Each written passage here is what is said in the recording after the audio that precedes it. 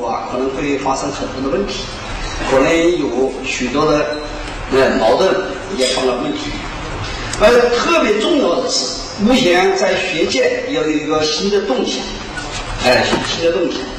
两零零九年的三月十四号到十五号，在由哎由中国政法大学学院组织的一个会议，是想讨论的题目叫做社会第一思想，就是说认为现在中国发生很多问题是社会第一思想，所以这个哎，刚才当时有公安部的、有国家和委办的很多领导人，他们也参加，他们都认为有第一次。当时我参加这个会，我在会上做了个发言。这个发言，我当时讲的题目是“不能以社会第一思想误误导社会”。所以那个这个发言啊，就把那个南方南方日报呃前天登出来，就把这个发言啊，他们改成了一个稿子，就怎么去理性的对待我们面目前面对的问题。那么另外一个非常重要的动向，就是两零零，就是呃北京大学的申东申东东教授最近提出了一个非常。哎，非常引人注目的观点，就是说，这个上访的老户百分之九十九是精神病人，而且他提出个观点，就这九十九的人，我们应该怎么样给他关起来？所以这些动向，实际上就是都表明了一个很重要的观点，就是目前对中国社会的形势的判断，实际上是一个比较，哎，有分析意见很大的一个问题。我们不要小看一个会议提出的一个概念，包括社会第一思想这种概念，也不要小看哎一个大学教授提出来九十九的是精神病人，他背后的是什么呢？他背后反映的是什么问题呢？我们今天啊需要探讨这个问题。实际上，我们所有关心要关心的问题，都关系到一个非常重要的观点，就是社会群体之间。我们为什么现在大家这么关心这个社会的稳定问题？实际上都是基于对群体之间的观察来理解的。我们一我一直认为，社会群体之间是观察我们这个社会的一个重要窗口。那么，为什么我们担心？就是这个社会群体之间的这个显著的变化，就使我们感到担心这个问题。我们今天面对的问题，实际上都与这个问题有关。今天啊，我就是要和你们讲两个问题。第一，社会群体之间到底有哪些特点？目前的群体之间是不是有敌意思想，还是什么样的思想？第二，怎么办？包括信访，信访到底是怎么一回事？为什么孙中东先生要提出来这个？九十九的是精神病，为什么？所以啊，我们今天啊，实际上是讨论两个问题。我们先说第一部分，我们目前面对的社会问题是什么？也就是说，社会群体之现的主要特点是什么？我们社科院啊，我曾经主持了国家的一个重大课题，就是研究课题，就是专门研究社会群体之现的分类。我们把社会群体之间大概分为了这几类：公农民维权、工人维权、市民维权、社会纠纷、社会泄愤和聚众犯罪。我们分了这几个。我们发现，非权这四年占了中国的百分之八十以上。我们今天啊，一个一个的分析群体之间是哪些问题。首先说农民，农民。农民，我曾经写了一本书，这本书的题目叫做《当代中国农民的维权抗争》。这本书我想提出一个概念，提出了一个概念。我认为中国农民的问题，从两零零三年到两零零四年以前，主要是抗粮抗税。我用了一个名字叫“依法抗争”。这个名字啊，我当时想了个词，叫“依法抗争”。为什么我们说两零零三年以前主要讲的是抗粮抗税呢？你们看这个标语口号就知道了。这是当时我在湖南省调查的时候拍的片子，叫坚决打击抗粮抗税抗合理上交的不法分子。大家知道，抗粮就不交粮食，抗税怎么样？不交关税。抗合理橡胶就叫废。所以在一九两零零三年的时候，我们发现中国农村主要的问题也就是怎么样，税费抗争。你们再看一看，当时这也是标语口号，叫做什么呀？黄粮关税不可抗拒。哎，这个标语口号我们今天看到很好笑，但是啊，当时就是真的，哎，就是真的。最有意思的事情，你们注意一下。两零零二年十二月二十二号，湖南省的衡阳县农民做了一个可以当时算惊天动地的事情，他们自己组织一个农会，组织农会干什么呢？就是抗粮抗税，就说你共产党不帮我们抗粮抗税，我们自己来抗粮抗税。他们建立了一个农会，哎，修建农会，哎，所以当时啊，我来做这个调查之后。我感觉到很惊讶。我当时写了一篇文章，叫做《农民有组织抗争实施政治后果》。哎，这篇文章三万多字，发表在《战略管理》的头条上。哎，我们这边啊，把它作为了一个简报，也呃送到中央去。为什么当时我提出一个问题？我我认为，当农民组织起来抗税的时候，这个问题实际上对你执政党来说，已经是一个非常重要的信号。所以我们提出来，哎，就是说你要对待中国农民，你就怎么样，一定要想到你的江山是怎么来的。呃，当时最有名的几个媒体，包括呃《中国青年报》的编点，哎，把这个我这个报告折为成为了叫做向农民自己说话焦点访谈，哎，做了这个报道。那么为什么农民要抗粮抗税呢？这个道理很简单，税费太重。所以啊，这个实际上当时啊引起了中央的高度重视，因为农民组织起来了，说哦这个问题很严重。所以在两零零三年底、两零零四年初的时候，总理表态说我们不收农业税了，是吧？你们不说妈妈？那我不要了，行不行？哎，所以这个人就是我。写的这个人，哎，叫彭永俊。当时现在他实际上已经是个新闻人物，哎，因为他带领农民抗税，最后对农业税取消产生了重要影响，所以在今去年的十二月六号，他评为了第四届中国农村发展论坛的十大农民英雄。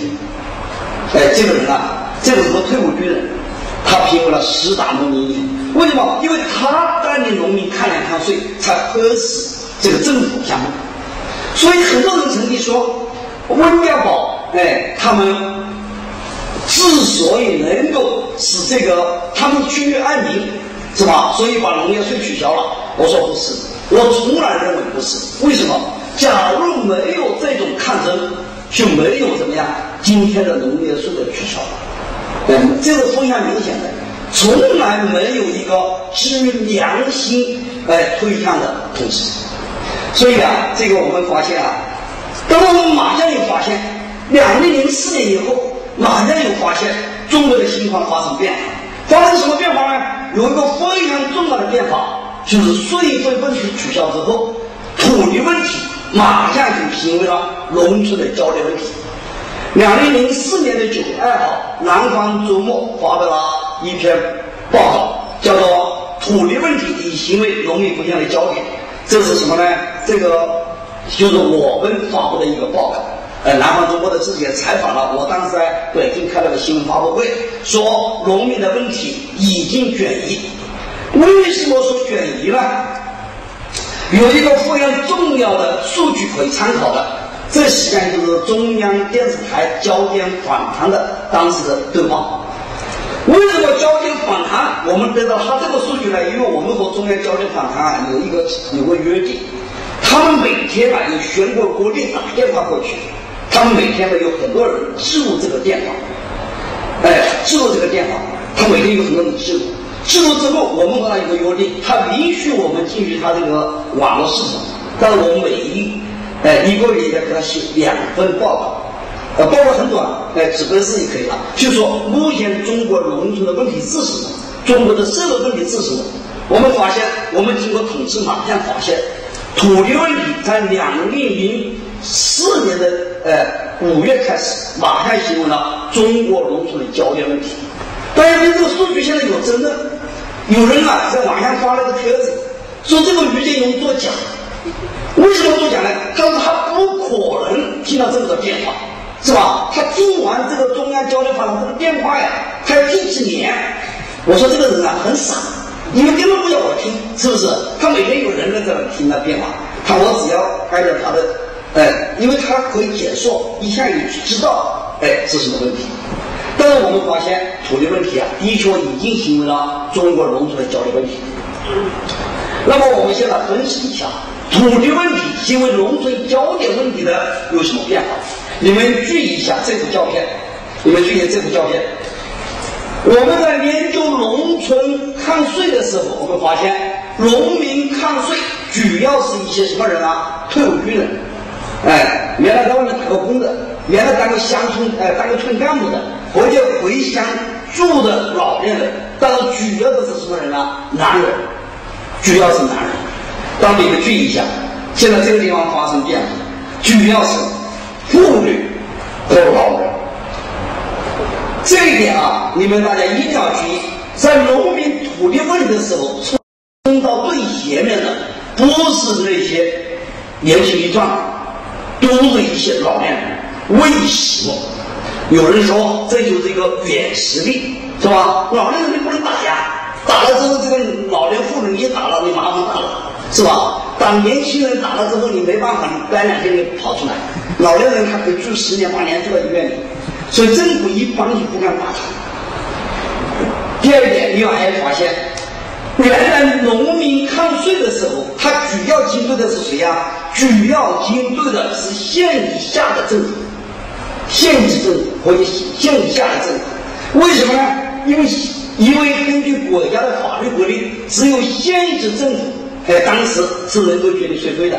但是呢，你发现土地问题的时候，已经不是县级政府。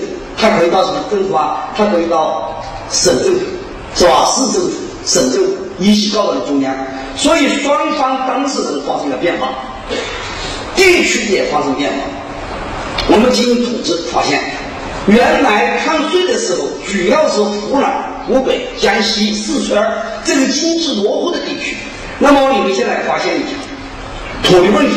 局还有哪里哪些地方？你们来广东、浙江、江苏是吧？山东啊、河北这些经济发达地区，农民抗税的时候，主要在一些偏僻的农村；而农民抗土地的时候，主要在一些城市的周边地区。这个区域啊，发生了非常明显的变化，方式也发生变化。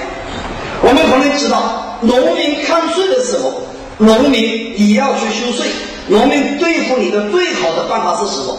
就是不理你，是吧？走开，让你见不到人，是吧？这就是美国著名的学者斯科特先生说的，叫弱界的武器。就是我不理你，我躲起来，哎，你找不到我人啊。那么农民土地问题不是土地问题最好的方法是什么？你们看一看，就站在这个土地上，站在这个土地上，不能不能让你动工。就非常具有主动性，农民啊，抗税的时候，土地的问题具有主动性。冲突的方式、行动也发生变化。农民抗税的时候，你们注意一下，研究一下当年农民的中央的文件，中央文件规定，就说农民在这个税费的时候，地方政府是不能动用武警和特警，不能动用，为什么不允许？那么现在不是。现在土地问题的时候，地方政府会大量动用武警和特警，为什么呢？因为他可以用的不是说我要去抢地，我叫什么维持社会秩序，是吧？维持社会秩序，用这个名义，他可以动用武警特警，所以你就发现他们冲突的行动怎么样？要增加，要增加。外力介入不一样，当年农民抗税的时候。你们可能知道，世界里面外来的知识分子也不太很关心，没有几个知识分子真正下去研究这个农民抗税。所以当年我在湖南调查之后写了那个报告，当时北京的学界很惊讶，他们说有这个事情吗？哎，但是现在不是，经过了四五年的变化，现在大量的知识分子开始进入农村，进入农村。和这个进入农村有一个非常重要的原因，就是大批的律师进入农村。为什么进入农村土地问题？因为土地问题怎么样？有巨大的经济利益。也农哎，我给你打个土地官司，你可以给我多少钱？哎，但也不怀疑，也不说没有为了这个理想而去帮助这个的。但是呢，怎么样？相对而言还要增加一点。对方也不一样。农民休税的时候，我们知道当时也有一些怎么样？地方政府利用黑帮，利用黑社会，哎，利用黑社会。但是他一般利用的是烂仔。他不会动用有组织的黑社会对付休税，为什么不划不来？他可以包税包的多不烂仔是吧？但是土地问题不是，土地问题你们知道，定新案件是最定州案件最典型的一个案件，地县委书记动用黑社会怎么样抢夺农民土地？这个县委书记已经判刑了，是吧？打死了，你看当时打死了怎么样？打死了四个，当场打死两个，事后死了四个，死了四个农民，总共六个农民，就动用黑社会。所以讲，你会发现这个监监狱啊是不一样的，语言也不一样。农民在抗税的时候，我们要知道，最多的是什么呢？说。落实中央的风险规定，减轻农民的负担。但是土地问题不是这样的，土地问题农民会说：“我们是农民，我们要生活，是吧？”哎，你不给我们地，我们将来操。会用这种语言来表达这个观点。前面我总结了前几年农民抗税的这个土地抗争的问题，最近两年发生一些新的变化。呃，两零零七年的三月，澳大利亚驻华大使就这个人，驻华大使馆的大使叫彭杰瑞先生，他向中国社科院、向外交部提出来说访问我。当时我们领导就认为，因为一个国家大使馆的大使啊，不轻易去来访问人，认为是个很大的事情，所以我们俩就组织开会去讨论这个访问你问问问什么问题，是吧？我们遇到很多很多问题，哦。一二三四五六七，提了很多问题。这个问题应该怎么回答？那个问题怎么回答？最后他带了秘书，他们来了。我们想到的问题都没有问，他问了这三个问题。你们看，他又问：两千零七年，你们中国有三个地方的农民，是吧？三个地方的农民向宣告，向社会宣告，说你共产党的法律是错误的。我们宣告农民土地私有，就是说，既是我们的，你的法律都错的，就是我们不和你共产党玩了，我们把地分了。所以你怎么看这个问题？是吧？他又说啊，当时我也吓坏了，说这个问题怎么回答？因为我们那个预案中间没有这个问题啊，是吧？我当时感到了很惊讶，特别惊讶。为什么惊讶？我说他怎么知道？是不是？因为这个时候人家应该不知道的，因为网上没有消息，一有消息马上删掉了。因为这个，不是。那么这个一搞啊，最后啊，当然，实际上我认为，他太有眼光了。这实际上是一个重大的变化。假如他当时问的，假如中国的农民都是这样做。你共产党怎么办？我当时回答很感觉到很麻烦，这个问题没有回答。我说第一啊，共产党怎么办？我不知道，因为我不是共产党，是不是？那么我认为啊，中国的农民啊不会都这样。为什么？因为我们大量的调查发现，中国的农民还是说你这个地啊是政府的有些人还不认识我的，他没有一个土地私有的这个观念。实际上他不知道有个内容。这个人不知道有内幕，实际上这个是做的就是一个外来的知识分子做的，叫李志英的一个很好的一个人去做的事情，哎，所以他不知道这个事情，哎，所以哎，你们有兴趣的可以看这篇文章，就当时他的秘书啊，把我和他的对话啊，全部哎，做了一篇文章，叫《解决中国农民问题需要新思维：于建功对话和结论》。就当时发表了这么一篇文章，但是这个发表的时候删了大量的内容，呃，删了大量内容。但我提醒你们注意，中国农民的土地问题，前面所讲的那几个特点，现在依旧发现了新的动向，后面我们还要做分析。在中国农村，我们前面讲了土地问题，那么民权发生的纠纷也开始显现。我们尽量做了预测，我们认为两零零九年之后的三年，民权冲突可能要加剧。为什么呢？因为民权改革带来的问题，可能两零零九年之后啊就会增加，哎就会增加。所以民权改革产生的纠纷现在比较明显。农村的第三个问题就是环境污染带来的问题，冲突也应该注意。环境问题现在是在中国农村已经是非常大的问题，这一点啊，我们广东的人民可能更加深刻，是吧？对，广东深刻。环境问题啊，而且因环境带来的冲突，哎，可能是很大的问题。实际上，在环境问题上，两零零五年的四月曾经发生一个非常大的环境案件。这就是浙江的东阳化水镇的案件，是吧？政府的六十多辆车子全部砸坏了，哎，政府做了一个很大的行动。这个你们有兴趣啊，可以研究一下这个问题。所以我们分析中国农村的问题，主要是三个问题：现在土地、环境，还有怎么样民权改革。那么我们再讲一下那个工人问题。对工人问题，我也是写了一本书。叫做中国工人阶级状况。我当年啊做了那个在安源煤矿，我们做了四年的调查，最后我们写了一个书，就发现啊，工人问题实际上已经是一个很严重的问题。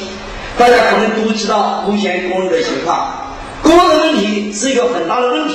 实际上在两零零一年，这个在有关部门的报告中间已经表现出来。全国总工会在两零零一年已经说，工人问题现在规模、组织都很很厉害，哎，都比较严重。那么我们分析一下，关于工人问题是些什么问题呢？你们马上从这个数据中间，你们发现个特点。因为假如说农民问题主要是土地问题的话，我们发现中国的工人问题。那么情况就更加复杂。你看，关于单位改制、拖欠工资、社会呃社会保险等等问题，哎比较严重。就是它没有一个完全的是一个问题，它比较分散问题。工人抗争主要有一些这个办法：上访、静坐、罢工、游行示威、堵塞交通、占领工厂。对于上访，我们后面要专门研研究。静坐，我们大家可能也知道；罢工的时间你们可能也知道罢工。实际上，中国很多工人宣布罢工啊，都是没工可罢的地方。你们注意一下就知道了。这些工人说我们罢工了，这人即便没工作了，是不是工钱停了？是不是？呃他有功的人不能罢工，是不是？那个游行示威，但现在有个最好的说法叫上访，对不对？哎，实际上最早上铺的不是下面，就据我研究啊，最早下铺的实际上就是安源的工人。安源工人啊，曾经发生一个很有意思的事情，在哎两零零三年的时候，这些工人啊上访，老工人上访，上访之后没人理他，他们宣布我们要罢工了，去毛泽东啊当年罢工是吧？那些人也没理他，因为早就下岗，了想怎么罢怎么罢去，是吧？那么他们没办法他说，我们要游行示威，给公安局打个报告。哎，游行示威线路路线怎么怎么走？哎，写了很多很多，你也没人理他，你也没不批你反正游嘛，是吧？最后他们又给大家发个短信，说你们不向我们游行示威，好，我们那边上不去。他那天啊说，哎，将近两万多人从四面八方走进了那个呃萍乡市。你们知道江西啊，靠你们广东的一个萍乡市，安源煤矿在萍乡市，四面八方走向萍乡市，这平乡市都去上步去。当时啊，这个警察也没办法，警察也不能抓呀，因为散步不违法呀，是不是啊？一个人散步违法，两呃一个人站在马路上就可以拖过来，那么一万两万人，所以操一个经过平乡市的瘫痪。所以散步啊是目前的一个主要方式。是吧？然后马上我们来讲，又发生一个激烈情况，我们后面讲的，因为前两天我们来调查的保定市叫叫到北京旅游去，我上路都不上，我们大家啊几几千人排着队到北京旅游都可以吧？哎，所以讲啊，这个这个问题啊，已经是一个很大的问题。警民冲突也比较严重，但相比较而言，比农民的怎么样要好得多？为什么呢？我这个我访问一个这个警察，就是这个农民你敢打，工人你为什么不敢打呢？他说工人不能打，因为他知道我们家在什么地方，是不是？因为我们都是隔壁邻居，他知道啊，他打打到他他会抄你家的。那么。所以有有些人啊，我有一次参加一个会，和国务院发展中心开个会，有一个人提出提出一个课题，他说工人啊，他呃城市居民啊，将来罢工啊，工人不敢打，说明我们这个警察的能力很低了。将来，他说能不能做一个课题，戴个面具下来，是不是？当一发现这个罢工的时候啊，或者他们闹事的时候啊，这个警察都戴个面具，他也不认识了，对不对？所以，哎，国务院还给他，国务院发的东西啊，给他专门立了课题，就是怎么想个办法将警察敢打老百姓。哎，这个实际上啊，这个第四还有个特点的工人的问题呢，就是比较走向联合。这一点我们都发现，农民和工人都有这个问题。你们可能知，有些人知道，最近几天实际上发生了一个很重要的一个事情，研究工人运动的知道。在辽阳，原来组织那个独立工会的那个人放出来了，做劳动党放出来了。实际上早几年，中国的疗养就有人组织了独立工会，组织独立工会。实际上我也收到很多疗养的这个来信，他们讲到了关于独立工会的来信啊。所以我们有一个判断，关于工人问题，我们我们认为劳资冲突将来是工人的抗争的主要问题。所以我们认为，就是国有单位改制，它逐渐会过去，这些人就过去了，是吧？有些老了，有些怎么样？那么劳资冲突、完全资本主义体下的工人问题，将来怎么样？会表现出来，会表现出来。所以劳资冲突的问题，可能啊，将是一个关键的问题。所以劳资冲突并不意味着他们抗争的，哎，没有办法。你们看看这个保定工人向港游行呃旅游是吧？就就前几天，这工人啊排着队，几千工人排着队是吧？又不达标语口号，人家去玩都可以吧，对不对？是不是？又不说上访，又不拿材料，这个事情实际上当时影响很大。他们走了走了走了差不多三四个公里啊，哎，几千人走了三十多公里。这一批人到北京去，他到天安门去旅游一下，是一个比较麻烦的问题，对不对？所以实际上可能引起了，目前引起了很中央的政府的高度重视，对旅游问题可能也是关注。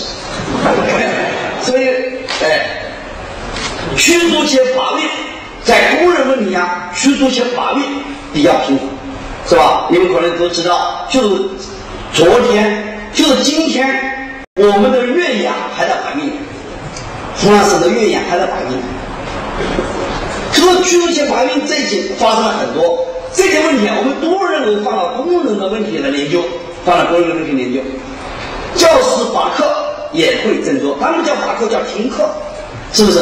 罢课不好听，我们叫停课，是吧？教师停课的问题也比较严重，因为广东比较也是比较多的关于停课的问题。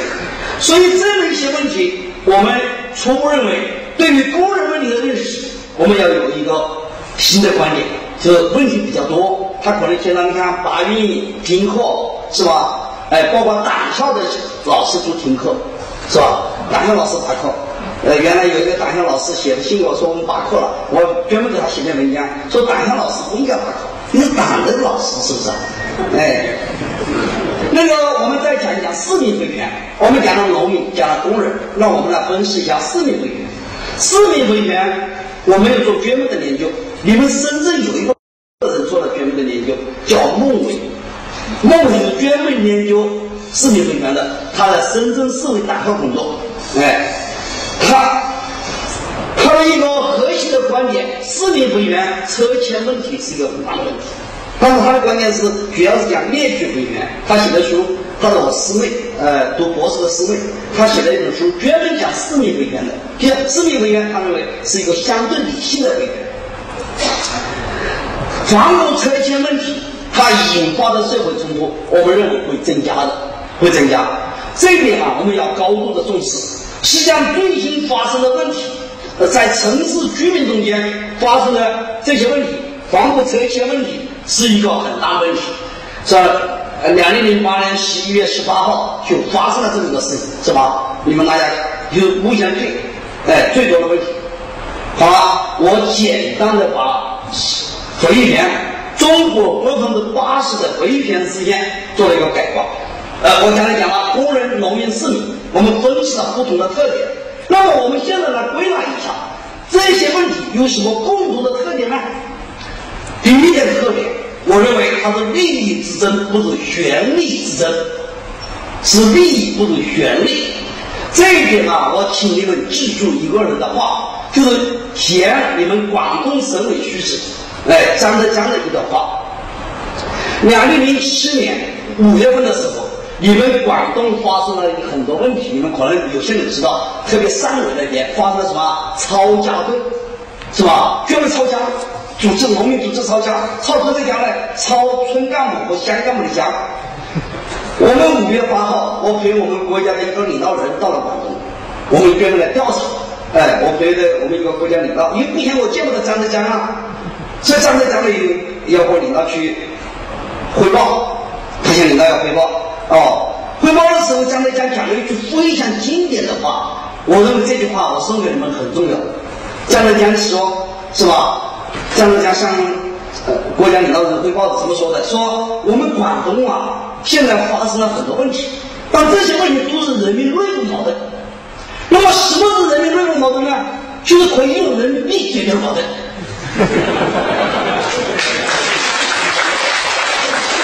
这句话不好听，但是实在对。这句话不好听。什么叫人民内部矛盾？就是争利不争权了，对不对？给你人民币解决了吧？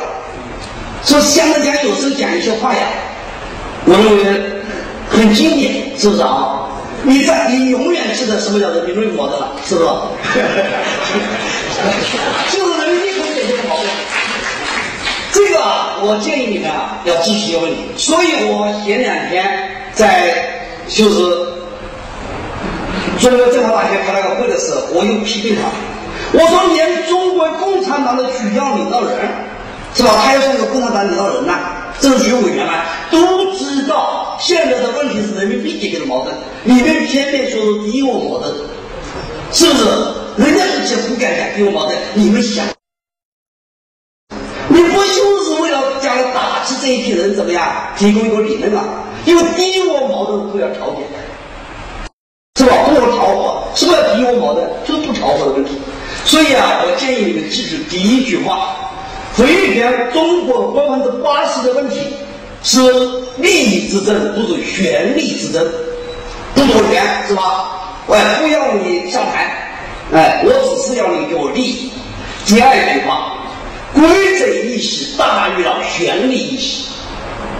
什么叫规则意识大于权力意识？这句话不是我讲的，是美国最著名的一个学者黑里。哎，女士讲的，这是一个女的。佩里老师是美国研究中国问题最著名的专家，也是研究是跟世界政治学界的大姐大。他在两零零七年发了一篇文章，专门讲述中国的老百姓的观念。他得出这么个结论，他说中国的老百姓和我们西方是不一样的。说你们不要天天琢磨中国共产党会垮了，中国社会混乱了，讲了这么多年，呃，从六四到现在，每一天的预测都等两年肯定垮了，是吧？但是还没垮呢。他说为什么呢？这是向我们学者提出的一个挑战。他说，经过他的研究，他发现中国的民众有一个最大的特点，什么特点呢？就是中国的民众讲的是规则，不讲。中国老百姓虽然讲权利，但是和我们西方的权利是不一样的。我举个例子你就明白了。他说，中国的老百姓会怎么说呢？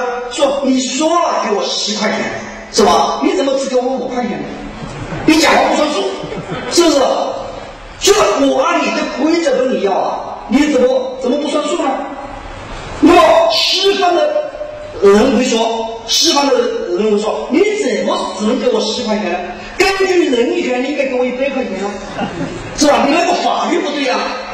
说，他说，中国共产党要身在福中要知福啊，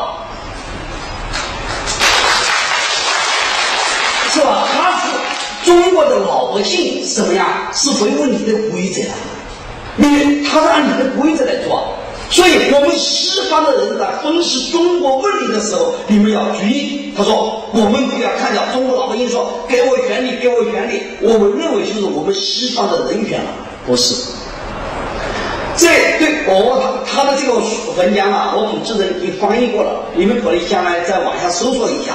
他的文章的题目叫做《中国呃中国的权力意识》，他进行了十方比较。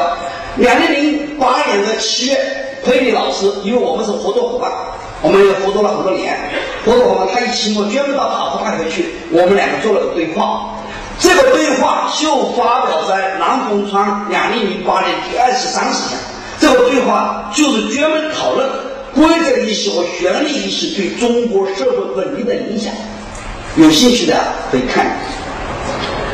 那么中国的问题，我们讲了，在维权问题，规则意识它大于权利意识的时候，我们就发现它不容易怎么样突破社会底线，不容易是吧？中国老百姓再怎么闹，讲来讲去是按你的法律讲，不容易呃突出底线。当然。也就是澳大利亚大使馆大使所说的：“假如中中国老百姓都说不和共产党玩的时候，共产党怎么办？对不对？哎，那么第三个反应性大于进取性，什么意思？在法律上讲来说，你不找他麻烦怎么样？他不找你。中国老百姓啊，天生是这样的，你只要向他过得去，你不把他的东西拿走，你给我给少一点也就算了，对不对？”现在对方这个你天天去琢磨他的东西的时候，他怎么样？他也找你麻烦。所以这一点啊，反应性大于他的进取心。第三点，他的目标；第四点，他的目标基本上是合法的，但是采取的手段也是不大合法。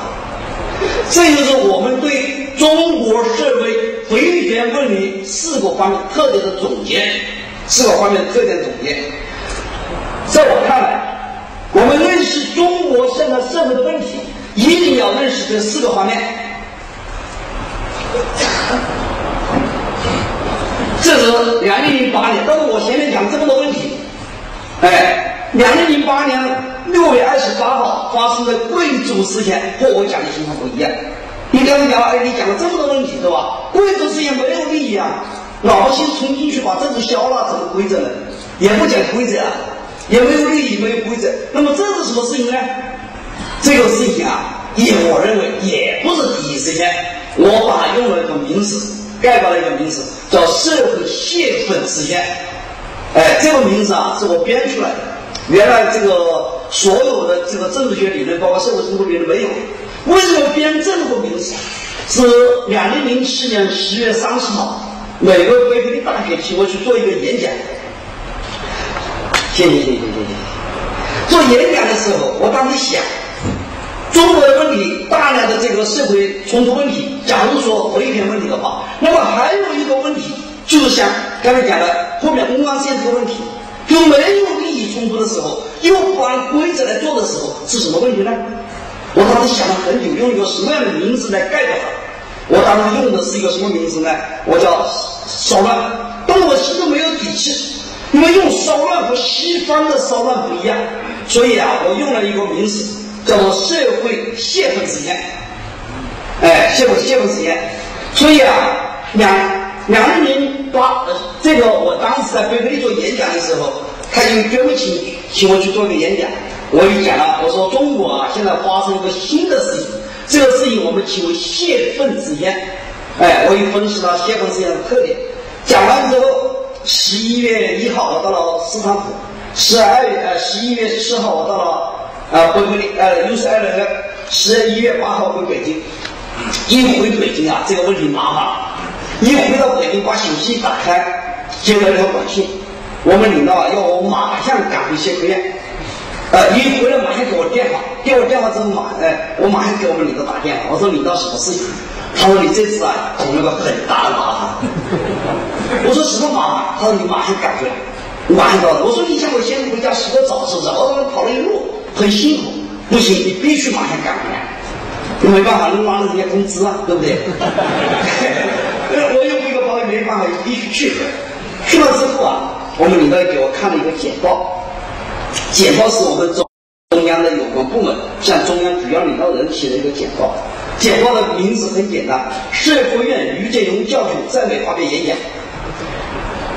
他第一句话叫做：“他说，中国已经发生了一种新的群体实现，叫社会泄愤实现。社会泄愤实现最大的特点就是民众对政府不满。为什么对政府不满？就是由于腐败和社会不公。那么为什么？”老百姓认为腐败不公，必须要来小政府、大政府呢，是由于老百姓认为靠现在的体制解决不了问题，麻烦大了，是不是？麻烦不一样大。我们领导说：“你看看，这不麻烦了吗？你看，要你不要乱讲话，你乱讲话。”他们一报上去之后呢，中央有个主要领导做了批示，但是领导干到了最核心层，批的很简单，就是叫社科院和于建荣谈一谈，要注意影响。我们领导啊，一听到这个不得了啊！你们不知道，你这个在体制内的待着都知道。我们领导就很麻烦了。我们领导，协会院的领导，呃，只是政协副主席，原来还是政治局委员，现在不是了，是不是？中央主要领导批了，马上就要批示。我们是社会主义国家，我们的人民是拥护我们政府的，怎么有粪口线呢？是不是？你你要我们所有的领导找我谈，好好教育教育一下。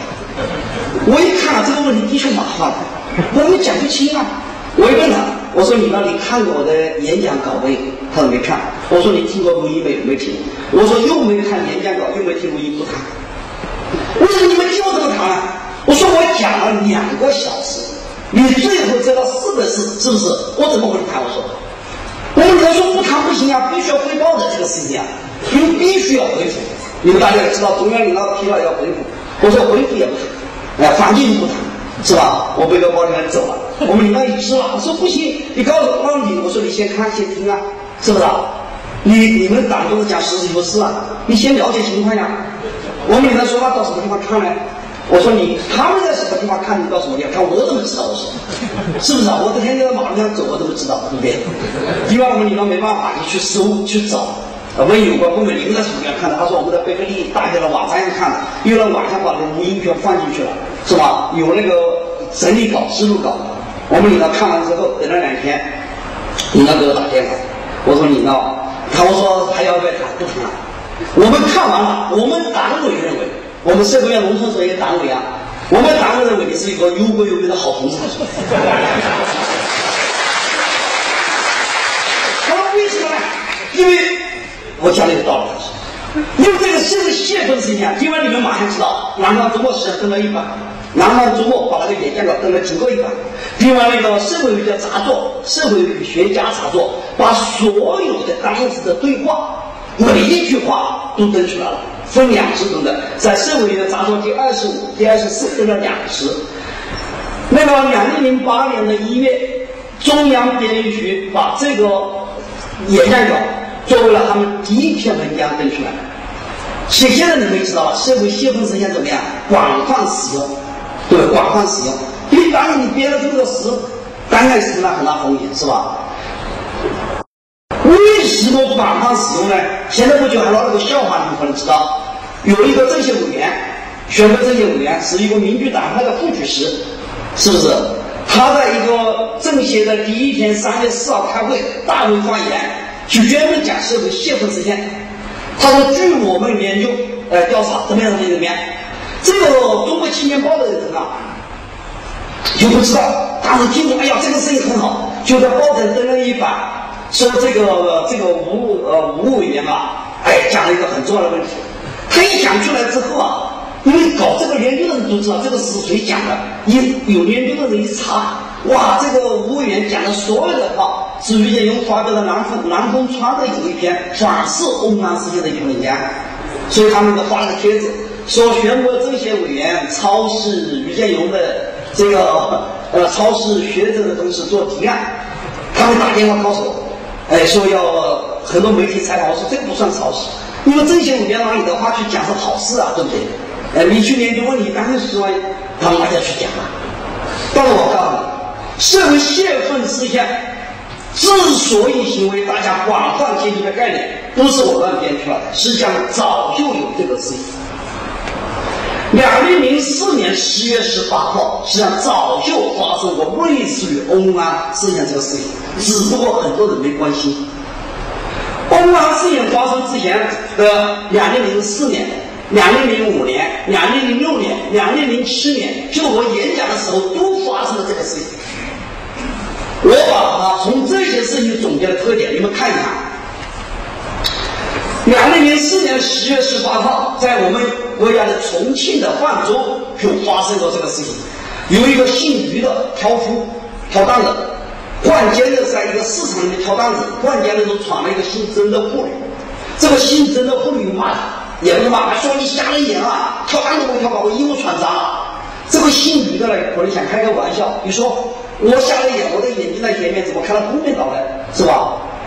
他本来想开个玩笑过去了，这个时候没想到，旁边冲去的男人把这个姓于的怎么样甩了两巴掌，说你闯了人不行错，是吧？你还敢犟嘴，是吧？你应该行错啊！那个姓于的说：“哎，你怎么打人呢？”是这个打这个人的人是谁啊？就是这个姓曾的的老公，是这个市场的聘用的管理员。好，很多老百姓看到中国人都是这样，房子吵架大家都高兴是吧？很多人都围去看，围去看一看，打人不行啊，挑担子我们又不是人呐，很多挑担子人来了，这个人啊一知了，这个打人这个姓曾的老公啊一就知了，说了一句话，向他后悔一辈子的话，他说：“我打你，我是国家公务员，打死你不会打死。”这句话麻烦了，他是个公务员，不是。哎，老百姓马上围着人越来越多。哎，公务员打死人没打死了？那个外面的，你看，哎，今天怎么样？发生什么事情了？哎呦，不得了！里面有个公务员打死了一个人了，打死挑担的人了。还 说打死不会打死？那老百姓说不干嘛？那不行啊！很多挑担的，反正那个看看热闹的，很多人背个背个拿着都围过来，要找这个公务员，是吧？那得找公安局去，找公安派出所。你们要把这个大凶手交出来，把那个尸体交出来，是不是？这个麻烦了。最后把这个派出所砸了，是吧？把政府冲了。这个事情发生之后啊，在国家引起了很大的反响。你们可能知道有一个人叫段英弼，现在中国扶贫基金会的会长，就当年那时候专门跟到温，呃，跟到总理后面走的，跟到温总理后面走的。段英弼呢，就是专门在。做这个方面的研究，他又把找了几个专家，找了三四个专家，是哎，把开会，开会他讲了，他说我们海里面的人，海里面的中安还好，我们海里面人怎么也没想通，你传我一下，我传你一下，你们把这个给我找来干什么？他说，是不是？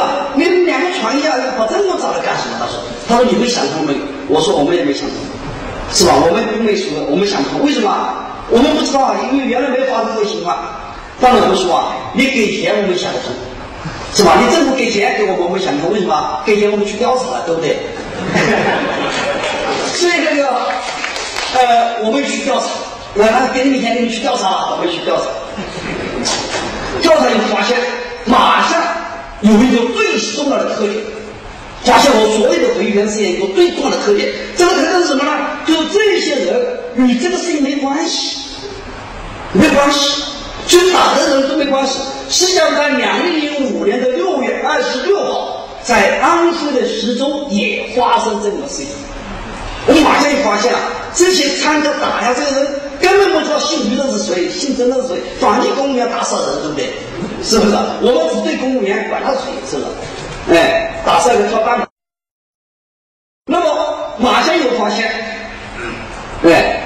马上又发现这个事情与没关系，没关系的一个非常重要的问题。你看，两零零五年的六月，安徽的石州也发生个事情，有一个，你看这部开这部小车的，就这个，你们看这部一部丰田车是吧？本田车，开这部小车的人是江苏的，一个江苏的老板在徐州，安徽的徐州开了个超市，他的司机有一天路过的时候闯了一个孩子，叫刘艳，这个孩子也没闯到，就扶了一下。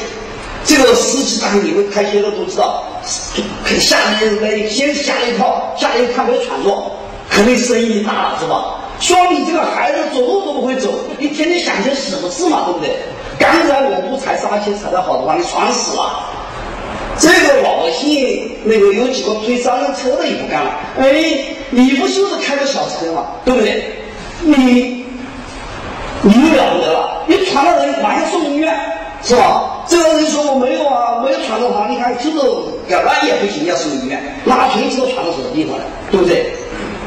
很多人就围过来，围着这个老板围过来，围过来有人呢，又围过来，围过来呢，这个时候有赶紧说啊，这个车就是那个老板的车，张叔那个老板的车，围了很多人，就有人马上同样的事情，很多人也问啊，发生什么事情？他可以说哦，张叔的老板开着车闯死了那个小孩，说闯死不闯死，是吧？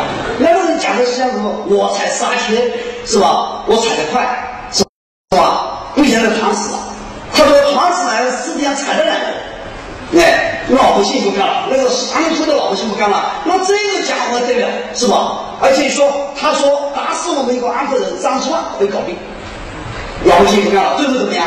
把把公安局砸了，把他车砸了，把他家超市全部抢了。这个事情的一个最重要的特点就是这个事情与这个没有关系。与这两个事情也抢超市的人也没关系，所以我们发现第二个特点，社会泄愤事件的第二个特点就是没有关系，没有时间的利益关系。你们看一看，瓮安，瓮安事情发生之后，新华县据呃新华县据贵州的副省长叫赵红，他拍了大量的照片，他当天隔了几天之后。新华有所稳定，他把所有的资料带到我办公室，我们去分析。我们分析了一天，分析他的录像，分析他的呃照片。我们又发现一个很重要的问题：最早抓公安局公安抓那个公安公安局的是谁？全部这些小孩，你们看，全部是孩子。最早抓的是孩子，抓了孩子冲进去的时候，公安打了一个孩子，那还得了，对不对？你打孩子也不得了。公安事件的一个非常重要的特点，就是我们前面讲的，这些小孩与那个人也没有关系，对不对？也没什么关系。第四个、第三个特点，信息决定又产生了新的特点。那我们前面讲了，两千零四年、两千零三、两千零五年、两千零六年也发生一个问题，在浙江的石，呃，浙江的瑞安。有一个山东的女老师跳楼了，这个女老师是一个比较穷的人，穷苦的人，她嫁给了当时瑞安的号称为首富的一个一个人的公子。跳楼之后，他们有她老公啊，就到公安局去报案，说我们家老婆跳楼了，哎，自杀了。公安局一看，只有说，哎呀，自杀了，自杀了嘛，对不对？就哎，说我们有认命自杀。但是这个人呢，还学生不干，说当老师好啊，是不是？学生不干了，学生又把他这幅照片，这幅照片贴到了网上。他一问，学生问话很很简单，请全国人民、浙江人民、温州人民、贵安人民看一看，这么漂亮的女，这么漂亮的女人会跳楼吗？是不是？你想也对啊，这个人漂亮不可能跳楼啊。讲的穷一点跳楼就算了，对不对啊？这 这个漂亮不是跳楼啊，他不会跳楼，他一定是他杀，呃，一定是他杀。而且说他们家里很多钱，做网络啊，现在这个网络是一个开放的一个社会。前天啊，那个我在江苏，呃，在温苏州调查，人民网啊打个电话，专门要采访，专门问叫王帅，就是做了个对话在人民网。实际上我在江苏，他们打电话啊，我不停的问啊。我当时给他这么回答的，我说互联网有两大特点，第一，它具有开放性，是吧？它具有开放性。那同样第二个特点。呢，就是怎么样呢？它还有个隐蔽性，我们不知道谁在说，但是它很快，它具有开放性。所以，互联网作为现代信息传递，作为原来发标语口号怎么样？是不是一个概念？不是一个概念，是吧？一个网络一贴，全世界都知道了。那么，这就他们那个孩子，那个家，那个微微软人民一看，不对，是吧？这个老师要主持公道，你开始打标语口号，要为老师讨回公道，是吧？讨回公道之后，温州市公安局啊，有做个鉴定，说这个孩子跳楼了。是吧？还没有找到他杀的证据，老百姓不干，老百姓马上发短信说怎么样？有可靠消息，怎么样？他们家花了五多万块钱把他搞定了。老百姓每个人，你们知道手机短信的特点吗？手机短信有个最大的特点，就是它是一个同时可以换很多人，超越时空。但是实际上还有一个特点。有什么特点呢？它具有人格性。手机短信传递啊，是有人格的意义的。就是我发个短信给你，你会想到是我发的，是吧？那么这个东西更容易动员。最后你看老百姓说我们要去为老师讨公道，是吧？怎么样把几个街道把他们家东墙砸了，是吧？哎，找政府讨公道，也发生了这个问题。所以我最近一直提出来。我们一定要注意现代信息的这个权利的这个作用，呃，现代信息权利的作用对社会问题的影响。实，我讲一个，还讲一个问题，我觉得讲的比复印机。你们知道复印机的社会功能吗？我们我们当然知道，复印机能够把文件复印下来。但我告诉你，由于有了复印机，中国的老百姓就回到了政府说我代表中央。为什么我把中央的文件怎么样复印下来了？假如没有复印机，这个老百姓敢说我代表中央？不敢。他哪怕他抄了个文件，他拿到那个地方政府那里去，找到官员说中央这么说的，你说怎么办？那个人会把桌子一推，什么中央说的？你未抄中央文件，对不对？那么现在老百姓不一样，他拿那个中央文件之后，他用复印纸复印下来，他一。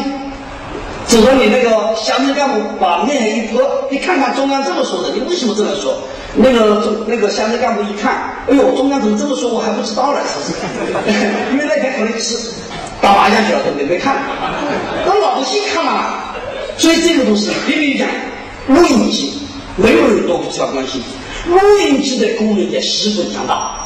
由于有了录音机，那么我们就会发现。中国的很多老百姓，他会利用录音机来和你斗争。我在湖南调查的时候，又发现这么一个农民，这个农民怎么样？他把中央的文件用录音机录下来，用录音机录下来，检测没有附上文件。为什么呢？自己买个高音喇叭，走到什么地方怎么样，就放什么地方。你去收水果一放，中国中央检测没附上文件，他坚持了十年，现在还坚持做。而且当我一问他，你为什么录下来呢？他说啊。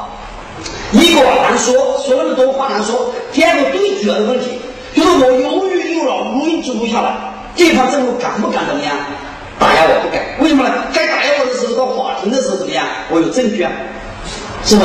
法庭我有证据。所以我们要研究这些问题的时候，一我最近一直提出来，我们应该要花很大的精力，把人去怎么样面对这个问题？现代科技的影响。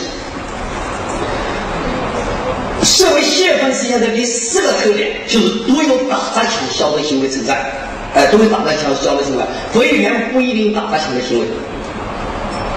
你们再看一看最新发生的事情，海南东方事件，你们就发现这个问题。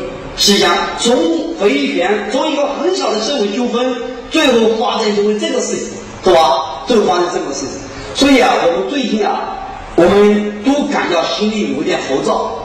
是吧？感觉心里有点浮躁。一个小事就变成这个事，是吧？你看三月三十一号的南充也是这么个事情，一个城管是吧？发生一个问题，马上也发生这么多问题。所以我们为什么有人提出来，二零零九年是一个很大的坎，就是有这个关系。实警事件也增加，哎，对警察，哎，打警察的事情也开始增加。为完一点小事你就开始对付警察？但这件事情。都可能和维权无关，我们可以了解理解为他是泄愤事件，也可以理解为一个单个的城市犯罪。哎，你们深圳最有名，你们深圳暴力抗法是不是增多？深圳两零零八年，经过深圳发生了五个五十七就是暴力，就是专门对城管的。但深圳城管比较快，是吧？我最近写了篇文章，就批评深圳城管。是我说你给老百姓的生存空间，你不要停着追他，他在摆个摊子，向他摆吧，是吧？插个皮，向他插吧。现在下岗了，没地方走，是吧？所以这样呢，这个问题增加。所以我在南方南方都市报发了一篇文章，叫做《剥夺穷人的权利，就会是同路语境》。你不要剥夺，对不对？你给他一些空间。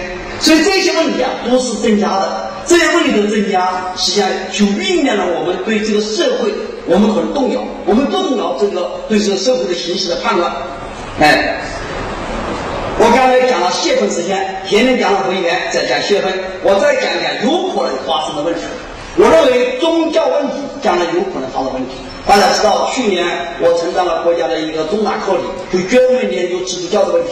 我们哎，经过前年、去年，我们做了大量的调查，我们发现基督教的问题可能会成为一个问题。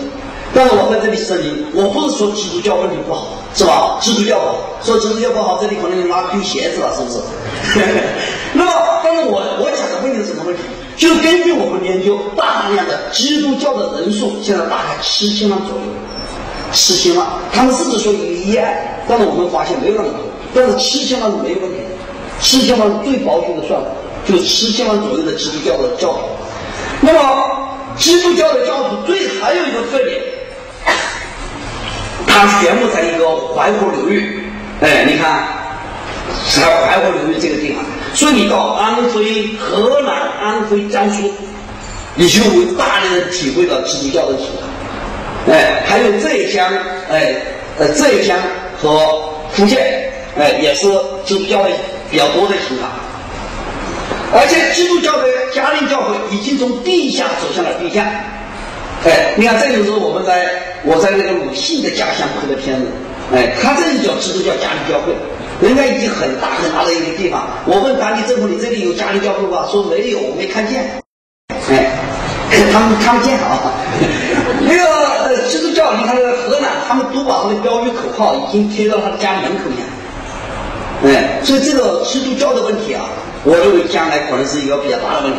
那么问题在于不在于基督教本身可能带来多少问题，问题在于我们对待基督教的态度。对，这个是我们政府现在对基督教的态度当做鸵鸟政策，就是不看见，没看见，是吧？你你有很多我不理你，我装作没看见行了，是吧？这实际上是这个执政者啊对这个民主不负责任的一个表现。我认为，我最近写了几篇文章，包括我在北大最近的一个演讲，你看那个杂志登了，叫《为基督教说明》。我认为，一个对民主和责任负责任的执政党，他应该要发现我们所有的问题，是吧？你当这一批人将来越来越多的时候，你怎么办？哎，你到时候又采取一个办法来打压的时候，那就不是打法轮功了。对不对？那又不法轮功了。所以对基督教的问题，我们现在政府采取的办法就是非法聚会。最近我对这个非法聚会提出了批评。我认为你用非法聚会根本解决不了这个问题。他怎么非法呢？你不让他聚会，他他难道不能聚会吗？对不对？他们自己在家里没有做什么事情，你怎么能说他是非法呢？所以这个问题将来是一个很大的问题。我建议啊，有兴趣的朋友啊，可以研究下这个问题。对基督教的问题，哎，做一些研究。而且基督教的一个很重要的问题，我们为什么要研究它？我的观点是向它公开化。我一直认为，只要秘密化，它是有利于邪教的传播的。你不要想秘密化，你看它公开，一公开，我们就发现它没有什么问题，是吧？你秘密化，它可能有带来问题，秘密化带来问题。所以你看看。法轮功现在实际上是我们国家现在面对最大的一个力量。你看这个法轮功做曾经做的事情，他把他的标语口号印到人民币上。你在河南的很多农村就是用这个人民币啊，人民币上都有法轮功的标语口号，说消灭共产党。这个老百姓拿了这个拿了这个标拿了这个人民币，我肯定不会死掉，对不对？我还要用出去吧。所以你要想啊。这种宣播方式比你秀出短信都厉害，是吧？这个它会吸入人心啊，大量的这种人民币哎在流通，哎。经济衰退对于社会问题也会带来影响。今年是经济衰退比较严重的情况，已经发生了一些问题，你们可能已经注意到了。实际上，最新发生的这么多问题都与经济衰退有关。那么，我建议你们看一看这一幅图片。这是两零零八年九月三十号在湖南省知秋市发生的问题。湖南省知秋市因非法实质案，老百姓要向政府讨公道。政府说：“你们非法实质，当然我要你们不要非法实质，你们要那与我什么关系呢？”老百姓说：“那不行，你要给我们一个说法，你要给我们的省市要给我，那是我养命的钱啊！”怎么办？跑去把政府砸了？你看这副牌子，哎，这个哎，把那个什么湖南省湘西土江苗族四十县啊四十州人民政府的招牌砸了，砸招牌就打脸面了，对不对？这是经常做的事情，我们可以先放下来。啊！你们最关键把我注意这幅照片。这幅照片是什么呢？这个照片是当时发生问题的时候经过抢的一个商店。这个商店是个朽制店。这个朽制老板与这个非法实战都没有。大家注意，特别特别注意一个问题。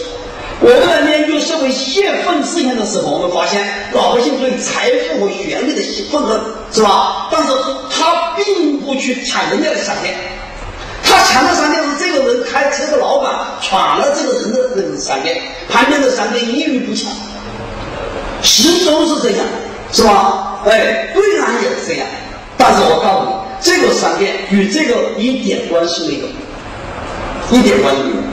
这说明什么呢？我们我们搞研究的人，我们往往要从这些发生新的情况去寻找这个社会的答案。我告诉你，我认为这已经开始走向骚乱，没有关系，没有关联。我为什么说那些是泄愤，这是骚乱？因为那些问题都有明确的指向的对象，对不对？但是这个问题怎么样？没有一点都是。你们再看这幅图片。这像不像一个过狂欢节一样？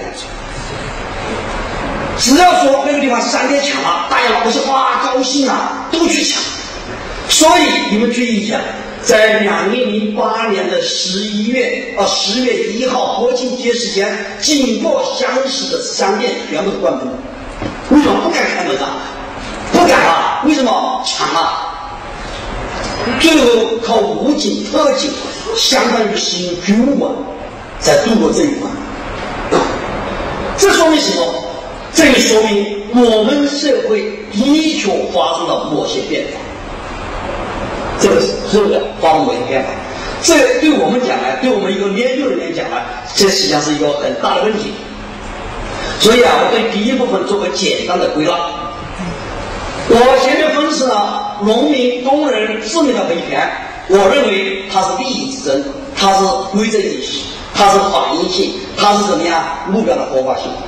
我们又分析了社会泄愤事件，我们知道社会泄愤事件它哎没有利益冲突，没有直接利益关系。我们接着分析了现在相关的中国的情况，宗教哎，包括现在发生的带有骚乱性的事件。我们的结论是中国社会已经进入了一个社会冲突的多发期。这一点不是的，不需要怀疑，不需要怀疑。来，所以我们的结论得出了这么一个最基本的结论：社会现哎，这个已经产生了一个的关键词。那么我们讲怎么办？讲怎么办？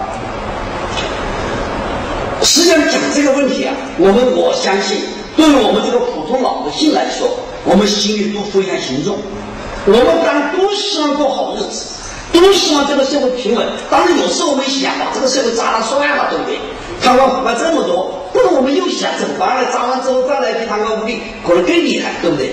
是不是？所以我们永远处于矛盾之中。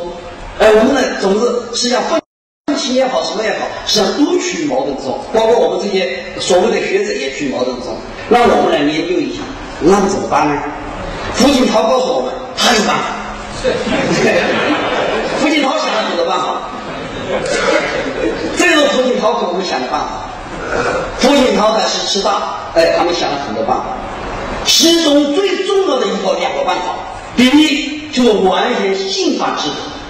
所以我们也知道，为什么地中说百分之九十九是是这个禁令？因为中央是要把完全信访制度作为解决社会问题的社会冲突的一个最重要的方法。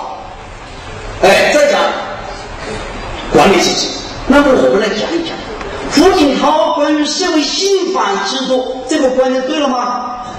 一般来说，我们拿了国家工资，总不能批评党的局势是吧？哎，国家局势。但是呢，这个假如我们现在看到的话，我认为他这个观点错误。宪法制度是不能完善的，是要废除的，因为它本身力量的问题，它不但不能解决问题，它而且会带来很大的问题。我今天啊，我会重点分析这个问题。实际上，早在两千零四年十一月四号，南方周末发布了一篇文章，叫做《国内首份信访报告会高人重视》。这份信访报告是我写的。是吧？当然，南方周末都有都吃过这个。为什么？因为我们对这个信访问题做了大量调查。我们向中央提了一个报告，说信访的制度性缺失，实施政治后果。我当时提了这么些观点，提了三个观点。我认为信访制度它有根本性的缺陷，根本性的缺陷，它不是完全不完全的问题。它，你看，第一个缺陷，它的体制不正常。是吧？它会带来问题，向中央聚集。第二个，功能错位的，哎，第三个，它的程序是缺失的。所以我得出结论：信访制度应该要做彻底的改革。为什么我们这么说？为什么这么说？你们看，你们注意一下，这个人很有意思。这个人叫徐永年，这个人是一个非常有意思的上访的故事。你们听完他的故事，你就知道信访制度多么有意思。这个人我不认识，就是有一次啊，呃，两零零四年十月份的时候，我们给中央递了个报告，说信访有问题，是吧？十一月中央做了批示，说信访改革，所以南方这么登了。所以那个北京大学啊，有一次请我去做演讲，做演讲的时候呢，讲完，哇，一讲完。哎，我我就讲做，我的题目叫做《中国信访制度批判》。一讲完啊，那个学生啊，那个突然有个老人，一突然呜呜跑上来，就是他，一下把话筒抢过去，说我有几句要讲。因为当时那个学生主持这个会议没有经验，我也一下吓懵了。因为那么多学生，那个是吧？几对学生突然冒了一个老农民去了，抢着话筒，说我要讲那个。我说你讲吧，你说什么？他说你刚才批评宪法制度，太讲到我心里去了。我告诉你，这个宪法制度害死人呐！他说，我说怎么害死人呢？他说啊，我是福建的一个农民，我那时候为土地问题啊到北京来上访，到北京来上访。我那一天啊，我走到了西安啊，我到了北京来，到了北京来之后，我到了国土资源部。国土资源部啊，去上访，你碰到一个接访的人，他那个一个快退休了，这个老人啊态度特别好，说：“哎呀，你是什么问题啊？”说：“我说土地问题。”我说：“土地问题好啊，找对了，就应该找我呗。”哎呦，我听到心里特别温暖，对不对？但是他说他接着说：“我这里不能解决问题，我给你写个条，你回福建解决好不好？”这么说好啊，你给我写条肯定好。哎，给他写个条。徐哎，福建省国土资源厅，你们省啊，徐永年同志到反映什么问题，请你们依法处理。哎，盖个章。这老头老走啊，高兴奋啊！一去了门，往家里打电话，告诉家里说形势大好，我已经找到中央领导批示了。哇，家里高兴啊，家里特别高兴，放鞭炮，哎呦，老许就是流行，一到我就去找中央领导了，对不对？好了，那这正是马上坐着车又回去，回去之后到了国土资源厅，资源厅找那个接访的人说：“哎，你看看，呃，中央领导批示来了吧？”我说了，你看你们不解决，中央是有好人。人写个你看，那中央领导有批示，他说：“拿给我看一看。”那拿给他看，一看这个东西，一看那个条子叫一半单，他哈哈一笑：“哦，这是中央领导批示，我就替你全部都是。”他说：“ 所有上海的都是。”当然，中央领导批了，你给我解决，怎么解决啊？他不说依法处理吗？我不早就给你依法处理了吗？你跑北京去干什么？我说没有嘛？他说，那不行，他们要给我解决，我怎么解决？他说不要吵事是吧？就是给你依法处理了。好了，这个徐永年一下就懵了。他说我不知道回去还是不回去啊？我们家里人都知道我怎么问题解决了，是吧？家里已经放鞭炮了，是吧？不能回去啊，所以买了车票，进入到北京去。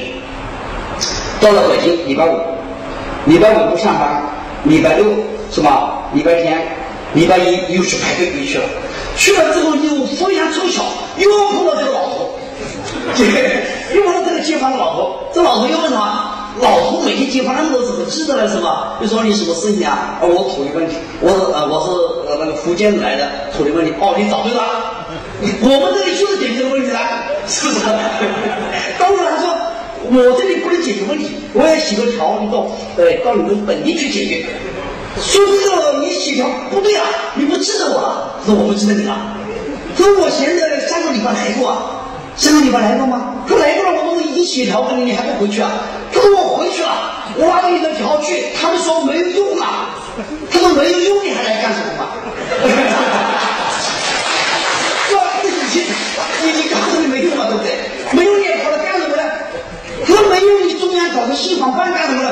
我怎么知道干什么？他说，我上班的，我上班我就知道上班嘛，对不对？我不知道啊，说。那个徐永年不行，你不解决，我现在没办法回去了。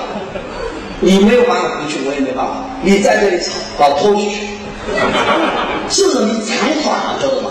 你无理取闹嘛，对不对？拖出去，拖徐永年当时在那个北大那个会上说，他说我离开那个地方，我跑到长安街，我痛苦了一下，我恨啊！说中央胡锦涛、温家宝，你怎么害我们？他说没有你。不说没有我就不来了，他说，是不是？你搞得我现在回不去啊，他说。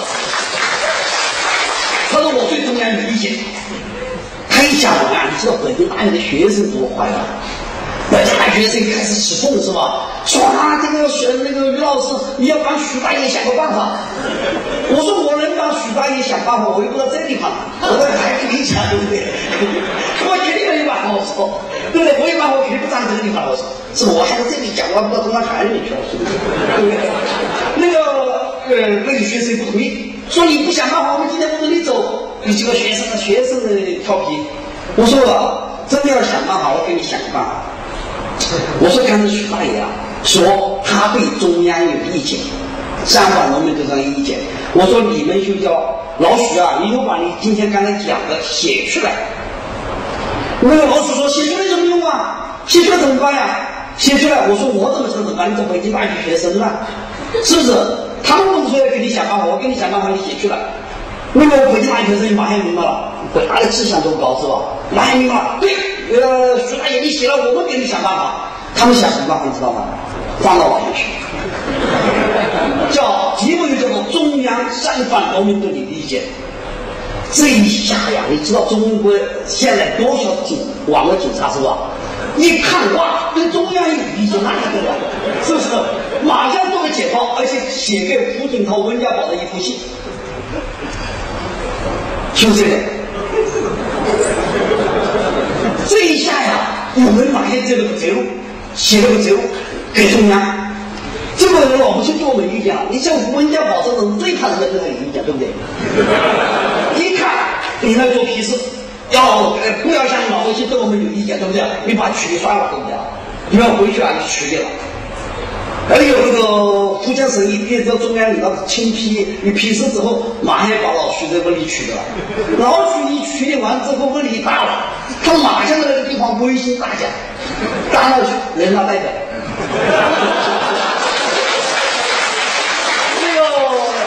那个厦门大学啊，有个学生专门为这个事写了他一篇故事，就专门写了一篇博论，也写了。写了之后，他的老师说：“你叫刘老师给你当评语评委，他肯定会把你打高分。”那么这说明什么问题呢？这实在说明了一个很大的问题，因为老百姓上访啊，他可能会最后对中央失望。我告诉你，像徐永年这个事情，那可以叫做万分之一。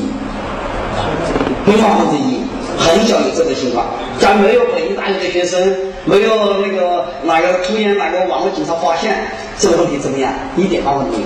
所以啊，你们也看看，在北京的街头经常有这种人，是吧？哎，经常有这种人，哎。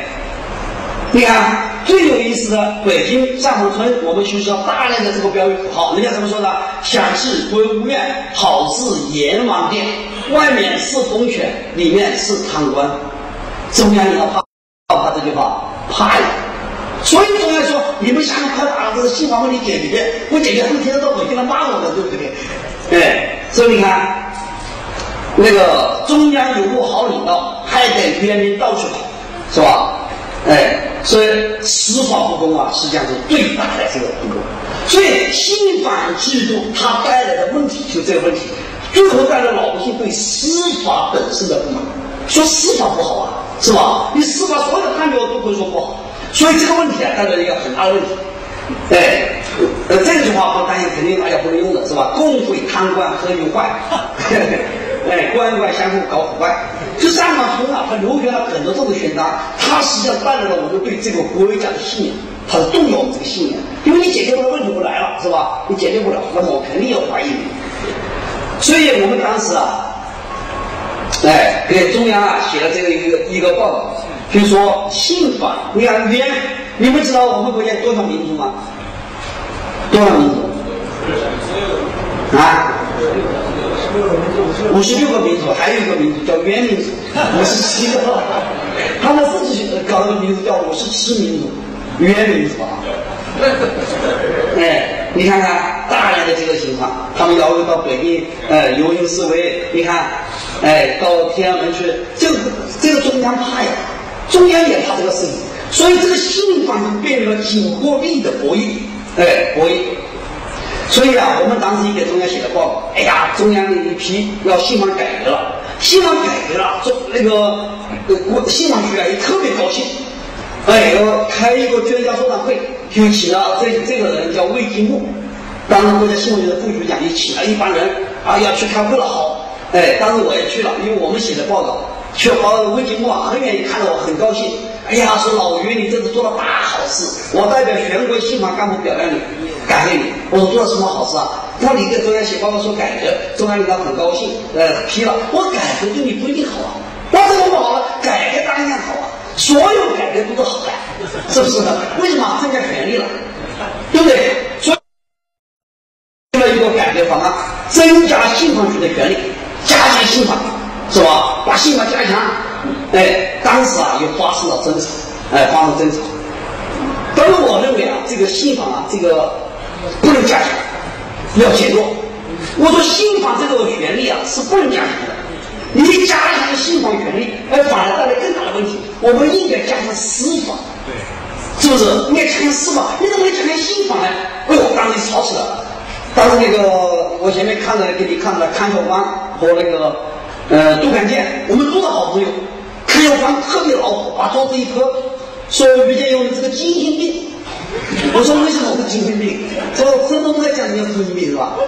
他说你不是说信访权，你给中央说信访没权利，我们当然要加强信访权利了。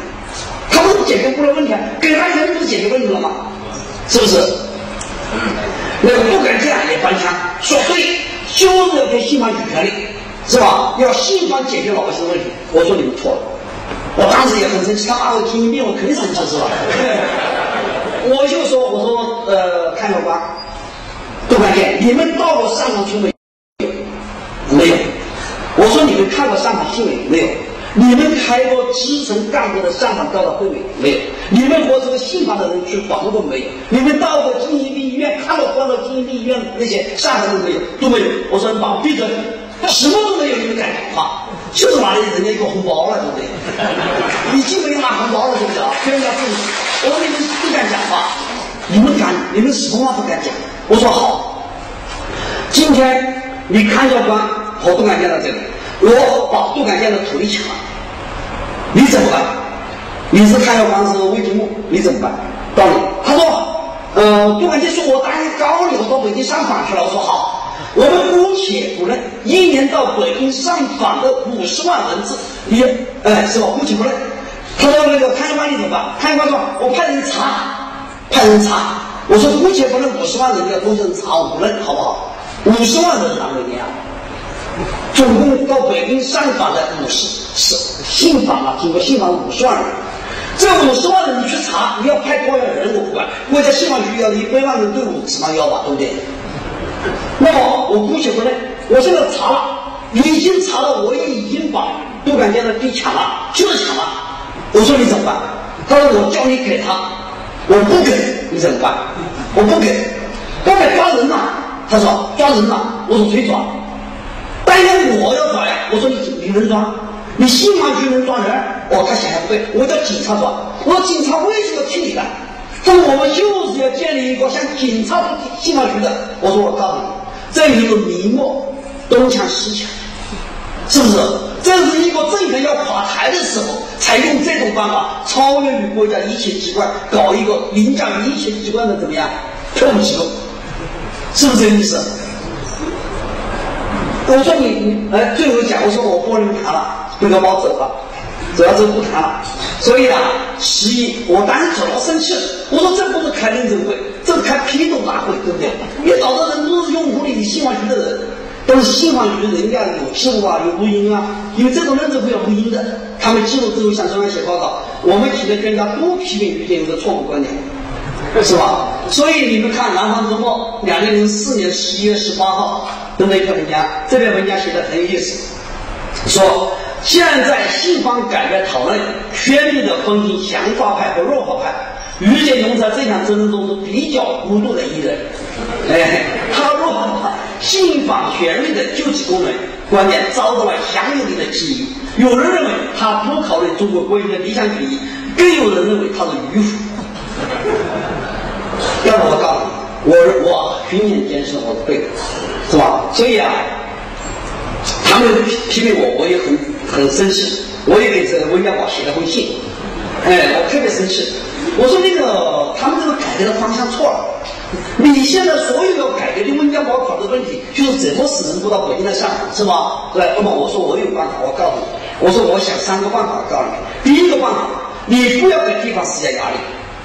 你们该怎么处理问题怎么处理问题，因为我们一定要了解信访怎么博弈，信访怎么博弈。你越说重视我怀疑，我不要到流动回去，是吧？因为你怕呀，哎，你不要开那个一半单，就像那个徐永年那个一半单，你不要开，因为怎么样，没有用啊，没有用的东西你开什么呢？你想到北京来告你来行，是吧？哎，你也不要说到北京来告状是违法的，我要不要抓他，他该怎么告他来告去。我说啊，我第二个想法就打开司法大门，打开司法大门，是吧？这样子到法院去，房子利益问题、利益问题都可以通过法律来解决。利益诉求啊，都可以法，不是利益诉求，那是另外一回事，对不对？房子利益问题，我们都打开司法大门。那么老百姓不相信司法没问题，我们要向司法脱离地方的控制。所以老百姓不相信，为什么不相信司法？因为司法都听你们深圳市的、深圳市市长的、市书记的，当然我不相信，是吧？我们要脱离，向司法脱离他们的控制，哎，所以我又啊提了这么一些想法，哎，提了这么一些想法。刚才我也提了，最后啊，我说啊，要靠人民代表，不要靠系统官员，要靠通过人民代表来解决这些问题。所以当时呢，我也提了这么一些想法。这个想法听完之后啊，刚温家宝他们，我给温总理写了封信，写了信之后啊，那个领导又做了批示，所以国家信访局专门开了个小会，就专门起草的五个人来替我做一个专门写我去做，因为你和国家信访局闹事闹僵了，你到国家法制办去讲，他起草小组在法制办，说你到法制办的几个人来请我去做了一个报道，就是五个人，我讲你什么想法，我讲我的想法。讲完之后啊，我就走了，我就到美呃到那个台湾去了。一月五号，两零零五年一月五号，国家信访条例通过了。一月七号，举行这个信访条例的人叫汪永清，汪永清通知税务院，就是说他们呃根据国务院主要领导人的意见，就说我们法制办啊要和建勇谈一谈，要谈一谈，来谈谈一次话。刚刚谈话以后，他们很客气。就把我接过去了，接到中南海和他谈话。这个人啊是北大的一个法学博士，你们看看他多么，他特别文质彬彬是吧？头发都一丝不苟，法学博士是吧？呃，官很大，现在当国务院秘书长。这个人啊，他又做了一次正式谈话，谈话了三个人，他的秘书处的处长做质疑，就正式谈话。一去了之后啊，这个王永清啊，那桌子上本来有。一堆的那个我们写给中央的报告的批示件，他又打开说，呃，他很礼貌，他说于老师啊，他年龄比我大，呃，说他是北大的法学博士是吧？我们两个是什么很小的学校的法呃法学博士，哎，他官很大，我没有官是吧？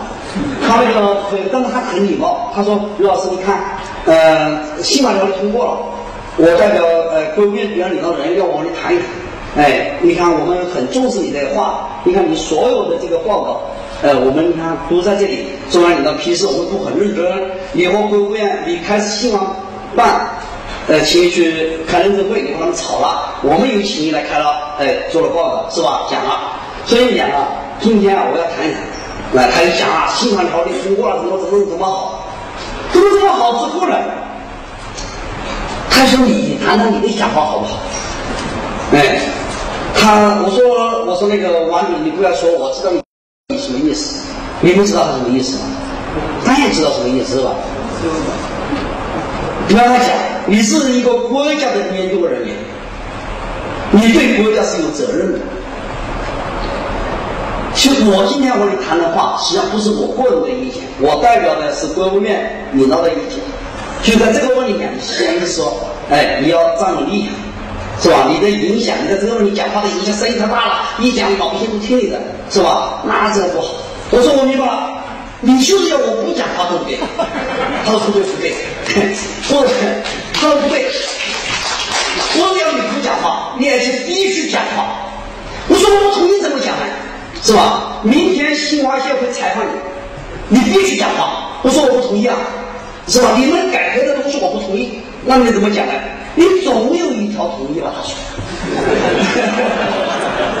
基本上你那么多条，你总有一条同意吧？哪一条同意你讲哪一条？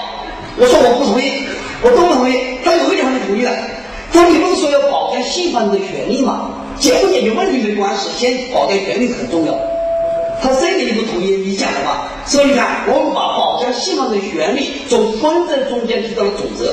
是吧？第二条，你同意吗？我这一条我同意。他没谈这一条，所以你们看到，哎，一月九号新华社的那个通稿，叫于建中说，保障信访的权利是最大的亮点。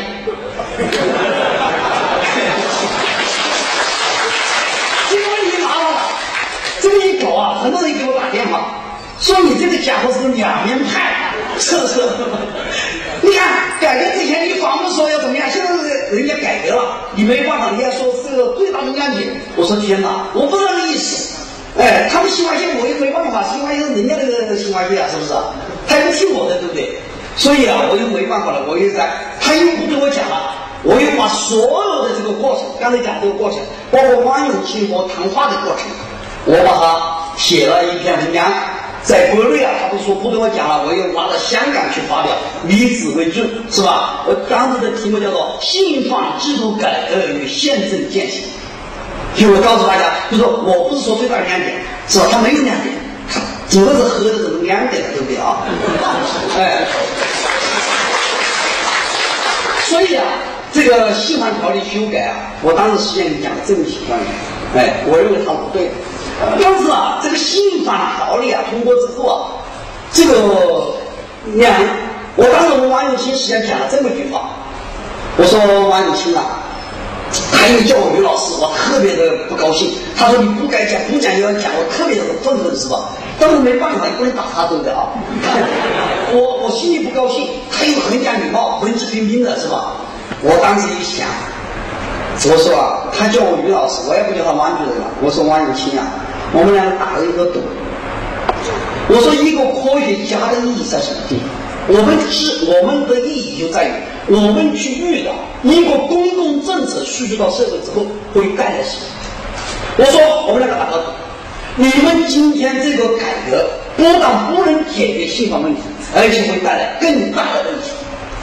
两千零五年五月一号，信访条例开始实施。我说两千零七年五月一号，信访条例实施两周年，到那一天，温家宝会把你叫过去，说王永清，你不是说这样改革能解决信访问题，为什么人越来越多了呢？我说你相信我。哦哟，这个毒一打，那王永清开始是笑脸的，那很小是吧？大官那么大的干部。呃，满带笑容，一讲这个婚礼呢，一下就很严肃，因为你不能拿中央领导的打赌嘛，对不对？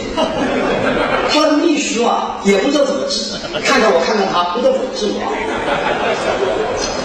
两年为了应对这个打赌，两零零七年一月，我们开始又进行下访村，又去调查，到底信访问题解决没有？我们跑全国到处跑，全国到处跑，到底解决没有？两零零七年，你们想啊，三月份的时候，全国开了一个信访工作表彰大会，中央向全世界宣布，中国的信访形势大好，解决了大量的问题，是吧？你们大家去看，这也表彰了一批信访的英雄，信访中间的模范，是吧？他这个结论对不对？错误，为什么错误？因为他没有看事实。所以，两零零七年，我也他们不是三月开会吗？三月底我也开过会，我在社科院开过新闻发布会。新闻发布会说，新冠形势医学严峻，一点都不好。他们讲讲话，那那个媒体啊，只有我们南方的媒体支持我，所有的媒体都不敢登，南方中国把它 登出来了。南方中国也登去了，说别人说新闻形势一点都不好。所以你要明白为什么我所有的荣誉都是南方给的，所以南方周末包括南方南方周报一说要我讲，我什么地方不讲，是吧？他是为什么？因为他不敢讲话，他把他登出来了，说啊，新环形势一点都不好。为什么不好？我今天告诉你，就是不好。为什么？因为信访责任追究制是共产党的一个法宝，他追究什么呢？他追究的就是怎么样排名。就说你们谁到北京去上访，我也找谁麻烦。地方政府表面一看好像中央怎么样采取一个好措施，可是地方政府解决问题，其实不是这样的。你看看，这是他们信访责任追究制。有在信访责任追究制之下，地方政府采取什么办法？有几个办法。第一，修满，不能讲好话，你不要去了，好不好？要什么给什么。你们看一看。这个就是很有名的一个事情，市委书记为什么对法院下跪？为什么？当时南方周末采访的时候问我为什么？我说他不是为了什么安全，他就为吴三茂啊，对不对？因为这些人到了北京去，到了绵阳去，是吧？他会带来问题啊，是吧？为什么下跪？他要下跪。那么为了不下跪怎么办？你们知道吗？那么我不可能总下跪，像这个人啊，的确是因为地震阶段可能心智不大健全，是不是啊？下跪了。现在要他下跪吗？平时下跪吗？不下跪，不下跪怎么办？那么老百姓知道你你这个东西，我老百姓呢也不理。哎，你不怕我吗？那么我又不能来，那么怎么办呢？所以就会有怎么样？有人买通人来，就去上访。你不怕吗？怕我也去。我不，我从来不认为老百姓上访没有冤屈，但是我们一定要认识到，在这个冤屈中间也有为老婆的超人利人，对不对？也有。那么只要有这种人，就会带来很大的问题。那么怎么办？我就抓人了。你们知道对待信访人怎么办吗？第一，盯人，是不？开两会了，敏感时期把人盯着你，二十四小时盯着你。这算好的，在你们家把人许多，不好的人怎么帮你关培训班了、学习班了。下一个文件说，你们家谁去上访，你们你报个下岗，你没办法，你不得不去告诉你老爷子，老爷子啊，不要去了，我的工作很重要，是不是？病人，这个人啊，这些是比较好的。第二，介绍，这个人跑了，从深圳跑了，马上到深圳火车站、深圳飞机场、广州飞机场，怎么样去拦截？不让他到北京去，是不是？南杰，南杰这个人啊，还是跑了，跑到北京去了。你开始到北京去拦截，你们知道到北京拦截怎么拦截的吗？北京啊，国国家上访村、国家信访局那个门口啊，有很多人，将来你们要去上海，我告诉你个好办法，真的一个办法。他很多人问你说，呃。什么地方人啊？你千万不要说深圳的，深圳的你麻烦了。马上说，哎呀，深圳有一个，深圳有一个。好，广东省的那个，广东省去那个呃北京的马上过来，哎，你不要去了啊，深圳的到我这来吧，把东把你丢县里面去，拖到广东当中去关下再说，是不是？那么有些人就是这样，大大方方走进，不理他。所以在这个时候你不要理他，你就走进去。是吧？你就答了，不要回答他。我是深圳的，我是哪里的？你不讲，没有一个人敢抓你，又不知道谁抓他，到哪里去，对不对？但是他也还有办法，你不开口也不行啊，他会传你一下，八个人，你不在开口，说那么传人，他传你一下，你装作糊涂，你不不理他，不讲话，他没办法。这个时候呢，他也没办法抓你。是吧？这个他那个花椒太多了，就这些办法传你一下，你马上说你怎么传人呢？哦，这个湖南的传的，是不是？感觉这个办法，所以讲抓回去干什么？我告诉你，劳教。抓回去，有些把你放了，有些怎么样？你只该去，该去把你劳教，就把你劳教。所以讲，你看看这个就是当时的这个。哎，我们我修习了大量的关于劳教的案例，我编了一个小册子，叫《上访劳教案》，专门编了一个小册子。呃，这个没时间了，我就简单讲一下。再怎么样，把它送到精兵医院。这个是人家给我的上访的人给我的信，你们看了，这是上访的亲笔信，送到精神病院。哎，所以讲孙中东讲话的背景怎么样，在这里，懂了吗？为什么搞回信？北京的学者那么奋起来的宗旨就是这个地方，因为有这个闲坡。再一个是行贿，行贿好，这个人还是进去了，进去怎么办？你知道吗？就买通国家信访局的人，把这个怎么样号消掉，叫消耗行贿。两千零七年，两千零八年十二月二十七号。国家信访局和中央党校在中央党校开了一个关于信访的一个会，全部是信访高级官员和中央的有关部门的领导。他们想干什么？他们说我们信访要依法。当时啊，这个国家信访局啊，知道我天天和他斗的，那个中央党校提出来叫于建功来开会，他们说不行，不能要。中央党校的老师教育说，王强江他们说你不叫他来，我们也不开。也没办法，你给我临时给我来了通知，给我十分钟。我当时就放了这么些照片。我问他们，当中央国家新闻局的领导都在下面。我问，我说你们给我回答，是吧？基层政府为何要行贿你们？哇！一讲完之后，他们那个研究室主任黑着桌子骂我们思想意识有问题，是吧？你拿出证据来。我说我有证据，我没有证据，我敢讲吗？是是不是？我说这就是证据，我告诉你，你们我我给你们看一份证据，我大量的这个证据。这一份证据是河南省洛阳市松县县委的一份文件，这份文件是这么写的，你听听哈。消耗，责任单位负责上访发证当时的消耗，要按最大的努力减减小登进去登记量。信访局负责每月通报权的沟通，压缩每月的通报量，消耗是最后一招。目前个别单位对销价不理解发牢骚，有的向县领导反映说消耗不可不合理，有的说信访体制不科学。但今天我要强调，合理不合理，科学不科学，不是我们在座各位能决定的。像其这样考核，我们只能与时俱进，世界生存嘛。今后发生上访必须消耗。消耗只是经济上的付出，只是给钱；不消耗，这是政治协助上的损失。我说，朋友们，我我说我可以想象到共产党的一切内部的一切黑暗。我的确看到这份文件的时候，我还目瞪口呆。我休息了，我这么多年专门研究社会阴暗面的，但是我看了这份文件，我的确目瞪口呆。我当时对到他们新华社的领导说：“为什么？我说我怎么也想象不到，你们把一个基层政府憋到必须到你这来行贿，这是一个什么样的问题呀？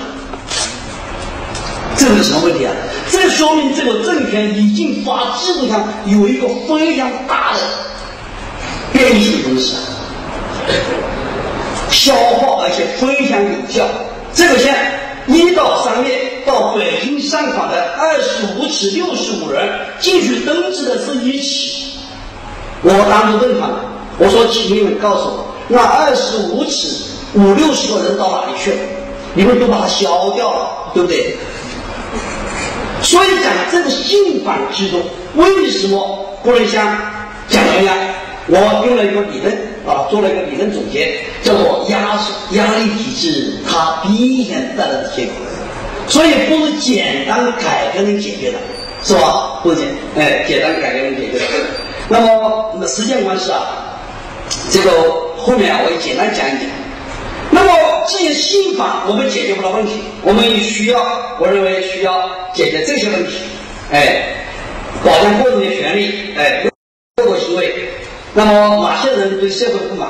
我们知道，可能，哎，有这个失地的农民、农民工等等的问题，还有退伍军人的问题，要重视退伍军人的问题，哎，还有大家注意一下，目前，呃，工乡。哎，建房的这十多万人的问题，还有一个很重要的意思，就是怎么样分割那些超反派。现在分割超反派的上，而且很厉害，而且他们很有道理。我二月我二月十八号在云南开调查会，突然十多个人把我们的调查会包围起来了，就叫口号分割好，分割大家你好，对，说要和谈话对话。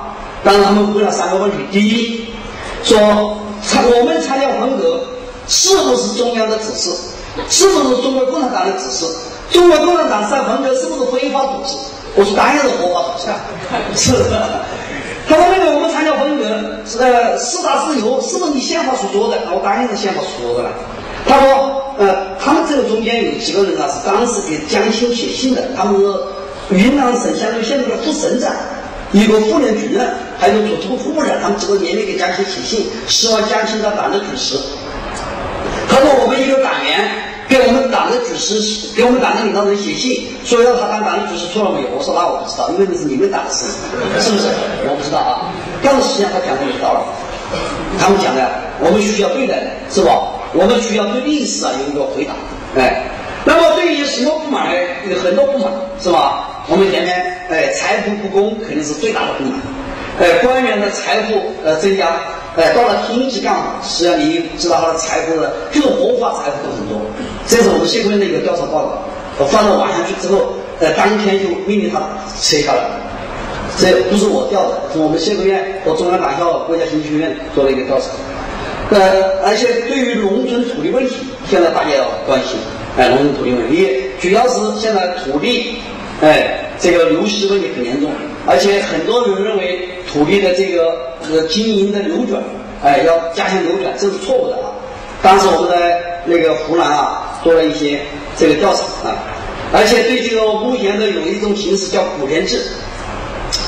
这个股联制啊，这个事情我简单讲一讲，因为我们深圳也在做这个事情。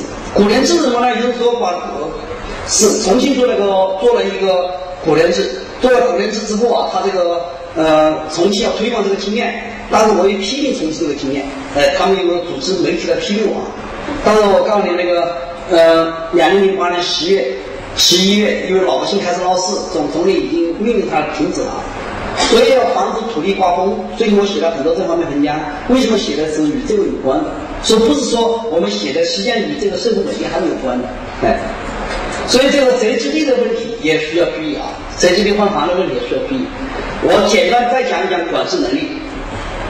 呃，我们大家都知道，司法不公是现在社会最重要的问题。现在司法不公最重要的问题是是呃，虚期管教帽子，思想管教票子，是吧？正方为管教案子，这个问题啊是一个很大的问题啊。所以我提出一个概念叫司法制衡，我们不能做司法独立，我们搞司法制衡嘛？哎，大概这个意思啊。所以对来，哎，我我我重点讲，再讲一讲这个。群庭试验啊，我们要注意一个问题：心理。你们十一月七号这个事情，我十一月十号晚上我也赶过来。当时有人告诉我们，十一月七号深圳开始发生问题，我们赶过来。赶过来了之后，我当时在现场，我又到了那个地方去，哎，是在那个现场。现场之后又发现它一个很重要的问题，就是说大量的这个群体心理啊，巨细，群体心理。所以啊，我建议啊，大家要了解这个问题，有几本书我建议你们看一下。哎，有兴趣的话，看到这几本书，哎，因为时间关系，我就不讲了，主要讲看看乌合之众、狂邪分子、寻访之众这些书啊，它有能够向我们解释很多问题。我特别在这个地方提醒一下，我们要用群体心理去防范社会泄愤事件。最重要的一个问题，就加强这个管理。呃，我这里讲一个最简单的例子。实际上，老百姓啊，他主张巨石起来的时候，主张巨石起来的时候，他就他会主张把自己失去。像这个时候啊，我你们这里有警察，对吧？我们警察学校的校长和同学来了，我要把他取个局限。什么里面？当这个没人闹事的时候，既然闹事的时候，老百姓实际上那个时候是可以防范的。怎么防范呢？像我在这个很多事情，我就发现，我们公安内保，实际上已经躲在阴暗的角落里开始推销，是吧？他怕人家看见，偷偷摸摸拍，拍那个目的干什么呢？就是将来追查你的责任的，是不是？不要这样。实际上，当老百姓当发生了问题，老百姓开始要举起来的时候，你就把摄像机对着他们，你试验一下，你对马上就跑，摄像机过去马上就跑，这个就符合群体心理的逻辑。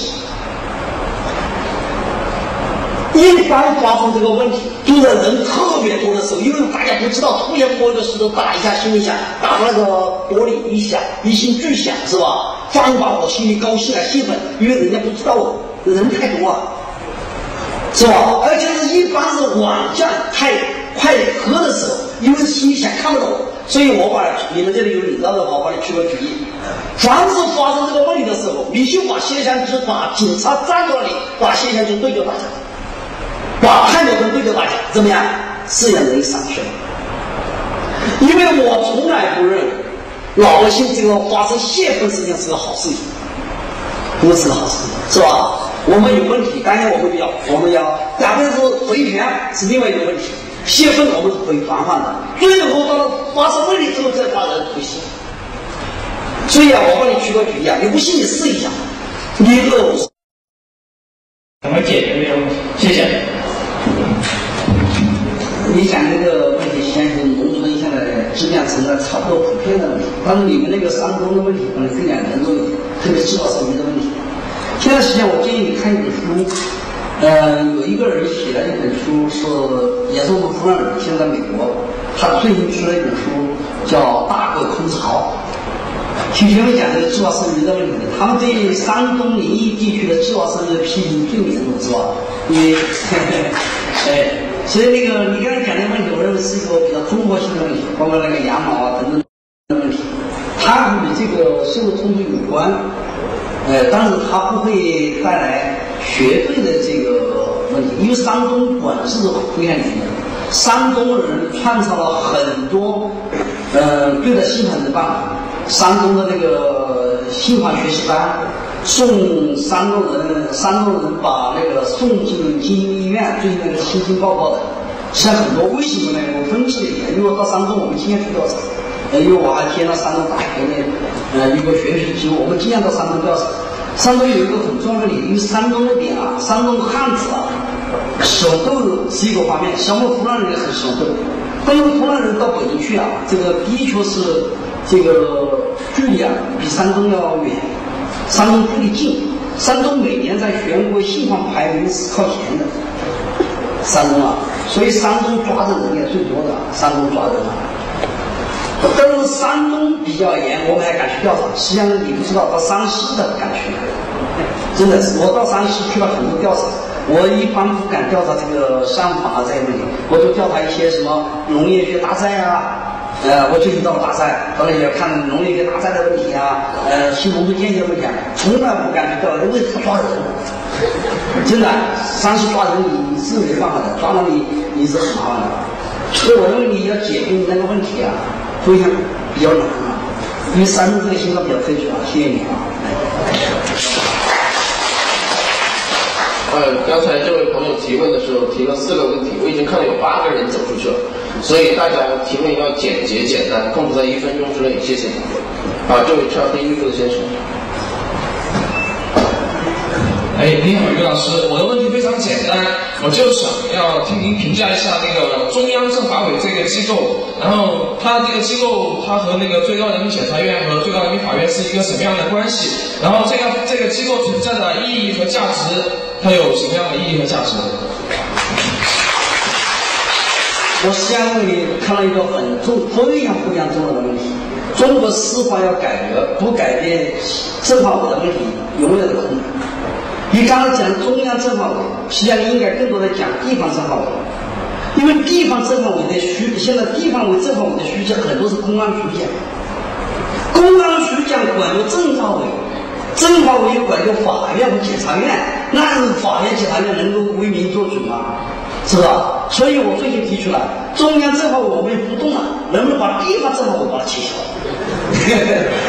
这为什么有人给我开玩笑说，他你这样是失远叛逆？我说啊，你想想把中央政法委切了，你门都没有，那呃周永康他们肯定不同意，是吧？你说把地方政法委切了，不可能。所以我现在提出来是切消省以下的政法因为政法委它表面是协调关系，实际上它对重大案例都是怎么样决定关系，决定怎么办怎么办。所以我的观点是，应该切消的是地方政府，中央政法委留着做研究机构用，是不是啊？做研究政策研究，因为中央呃高最高人民法院和他一般不管具体的案子是吧？他做政策研究用，中央政法委留着。可能那个中央领导不同意我们取消下雨，谢谢你啊。啊，还有没有在座的听众朋友？啊，来。于老师，我觉得这个政法委的问题，实际上需要一些辩论。就说这个地方政法委并不一定全部管到法院或者检察院的，实际上法院在审判案子上更在乎上级法院的意见，而不是在乎本级政法委的意见。所以我的问题是这样的：在目前的呃共产党执政、多党参政这个目前大环境情况下，怎么有效的提高法院的司法独立水平？这个我马天啊，你可能更多去会看了一篇文章，就你这个问题啊，我专门到了云南省高级法院。找到他的副院长田成友，田成友博士，我们俩做了个对话，就是专门探讨你刚才讲的问题，就是怎样使这个在目前这个情况下司法改革，呃，是吧？呃，因为现在对司法改革的呃分析意见特别大，河南省的高院的院长讲的最典型，要要把呀法宝取消，是吧？要走向甜头，哎，所以我的一个观点就是在目前这个情况下，司法的问题，我认为最关键问题有两个问题。第一个要解决它地方化的问题，第二个我认为还是要解决法官职业化的问题，是吧？要法官的确他有一定的社会保障之后，是吧？权利保障之后，可能再解决问题。实际上，我想，假如你现在是第一中央领导人，未来的中央领导人，我给你提个建议，真的，我是很真心的向你提个建议。我认为啊，你要想象这个国家，哪怕你共产党要制度说，我就要专制，我就要这个国家变成我的国家，就要这样，我说也没问题，我们就交给你好不好？当然了，我建议你们做哪个呢？还是要做基层政权的改革，把县级政权做实，现了。中国所有的问题，最后归结到底，你发现都在县级政权压力啊压这个地方。那么包括法院也是一样。法院两次法院，中级法院和初级法院是吧？第哎，这两次法院的改革啊，你要把它当成最重要的事情。我一直认为，县级政权的改革做好了，共产党哪怕我们现在就不改变他现在的所谓的呃专制的或者是什么威权体制，或者香港是党专政，当你把现实做实了，这个国家要平稳的很多，真的要平稳很多。所以。我一最近一直在写文章，包括最近南方周末里面发了两篇文章讲这个问题。上一次的南风川，我和那个中央党校的一个女教授对话，也是讲这个问题。实我反复讲的是，中国的问题，实际上司法不公也好，什么也不好，你这个还是政权的权利来源有问题。现在我是反对把县级法院和中级法院给地方。因为你这个现在我们的法院权力，你必须要他的法院要通过地方人拿的权利，没有法律，是所以我认为要解决这个问题啊，要解决可能两个核心问题：地方化和企业化的问题。来，谢谢你。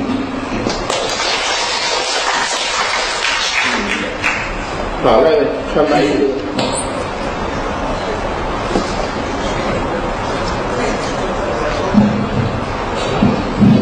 呃，李老师，我想请教一个问题，就是说这个现在这个农村的这个村委会，和这党支部党党支部啊，这个领导，我认为呃百分之六十至七十的这个这个领导是农村的这个这些领导都在吞噬集体的财产，就是说这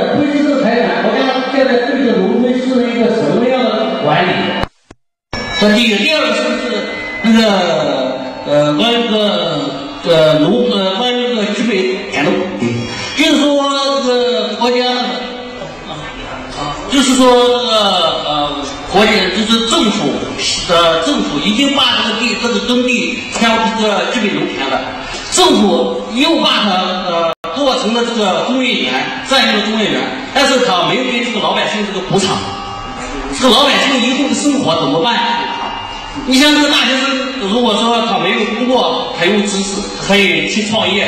如果农村的这个老百姓，像五六十岁的老年人，他没有了耕地，他怎么生生存生活？这我认为，这个国土资源部说中呃说这个中国有十八亿亩的耕地，他是请不要啊不要长篇大论的发表观点，请尽量其实。我想问一下，就是说在全国来说，耕地已经我感我我我，在我认为就是没有那个十八亿亩的耕地，因为这个在这县以下的，这个基本基本工基本工业园呐，请尽量简短，好吧？我看你们有十八个人走这个。长这么多。所以，我还是谢谢你啊！我认为我我大概明白你的意思啊，我很同意你的观点，因为对于农村这个呃村一级的这个问题啊，我非常同意。最近实际上我从这个三月份开始，我跑了，你看这些村啊，大寨我去了，我华西我去了，南天我去了，哎，那个呃大学庄我都去了。其实我实际上最近，呃昨天我还跑到那个江村，就是江那个费孝通先生叫他那个江村。呃，我的一个观点这样的，我们思考村级改革的时候啊，实际上我我可能发现我们原来有一些误差。第一个什么误差呢？可能我们当前希望这个老百姓的权利的确定。我现在一个观点可能和你是比较一致的观点。我认为在农村这个情况，不管你是公有制或者私有制，是吧？不管你是村级所有还是个人所有，但是确定每一个人的权利可能很重要。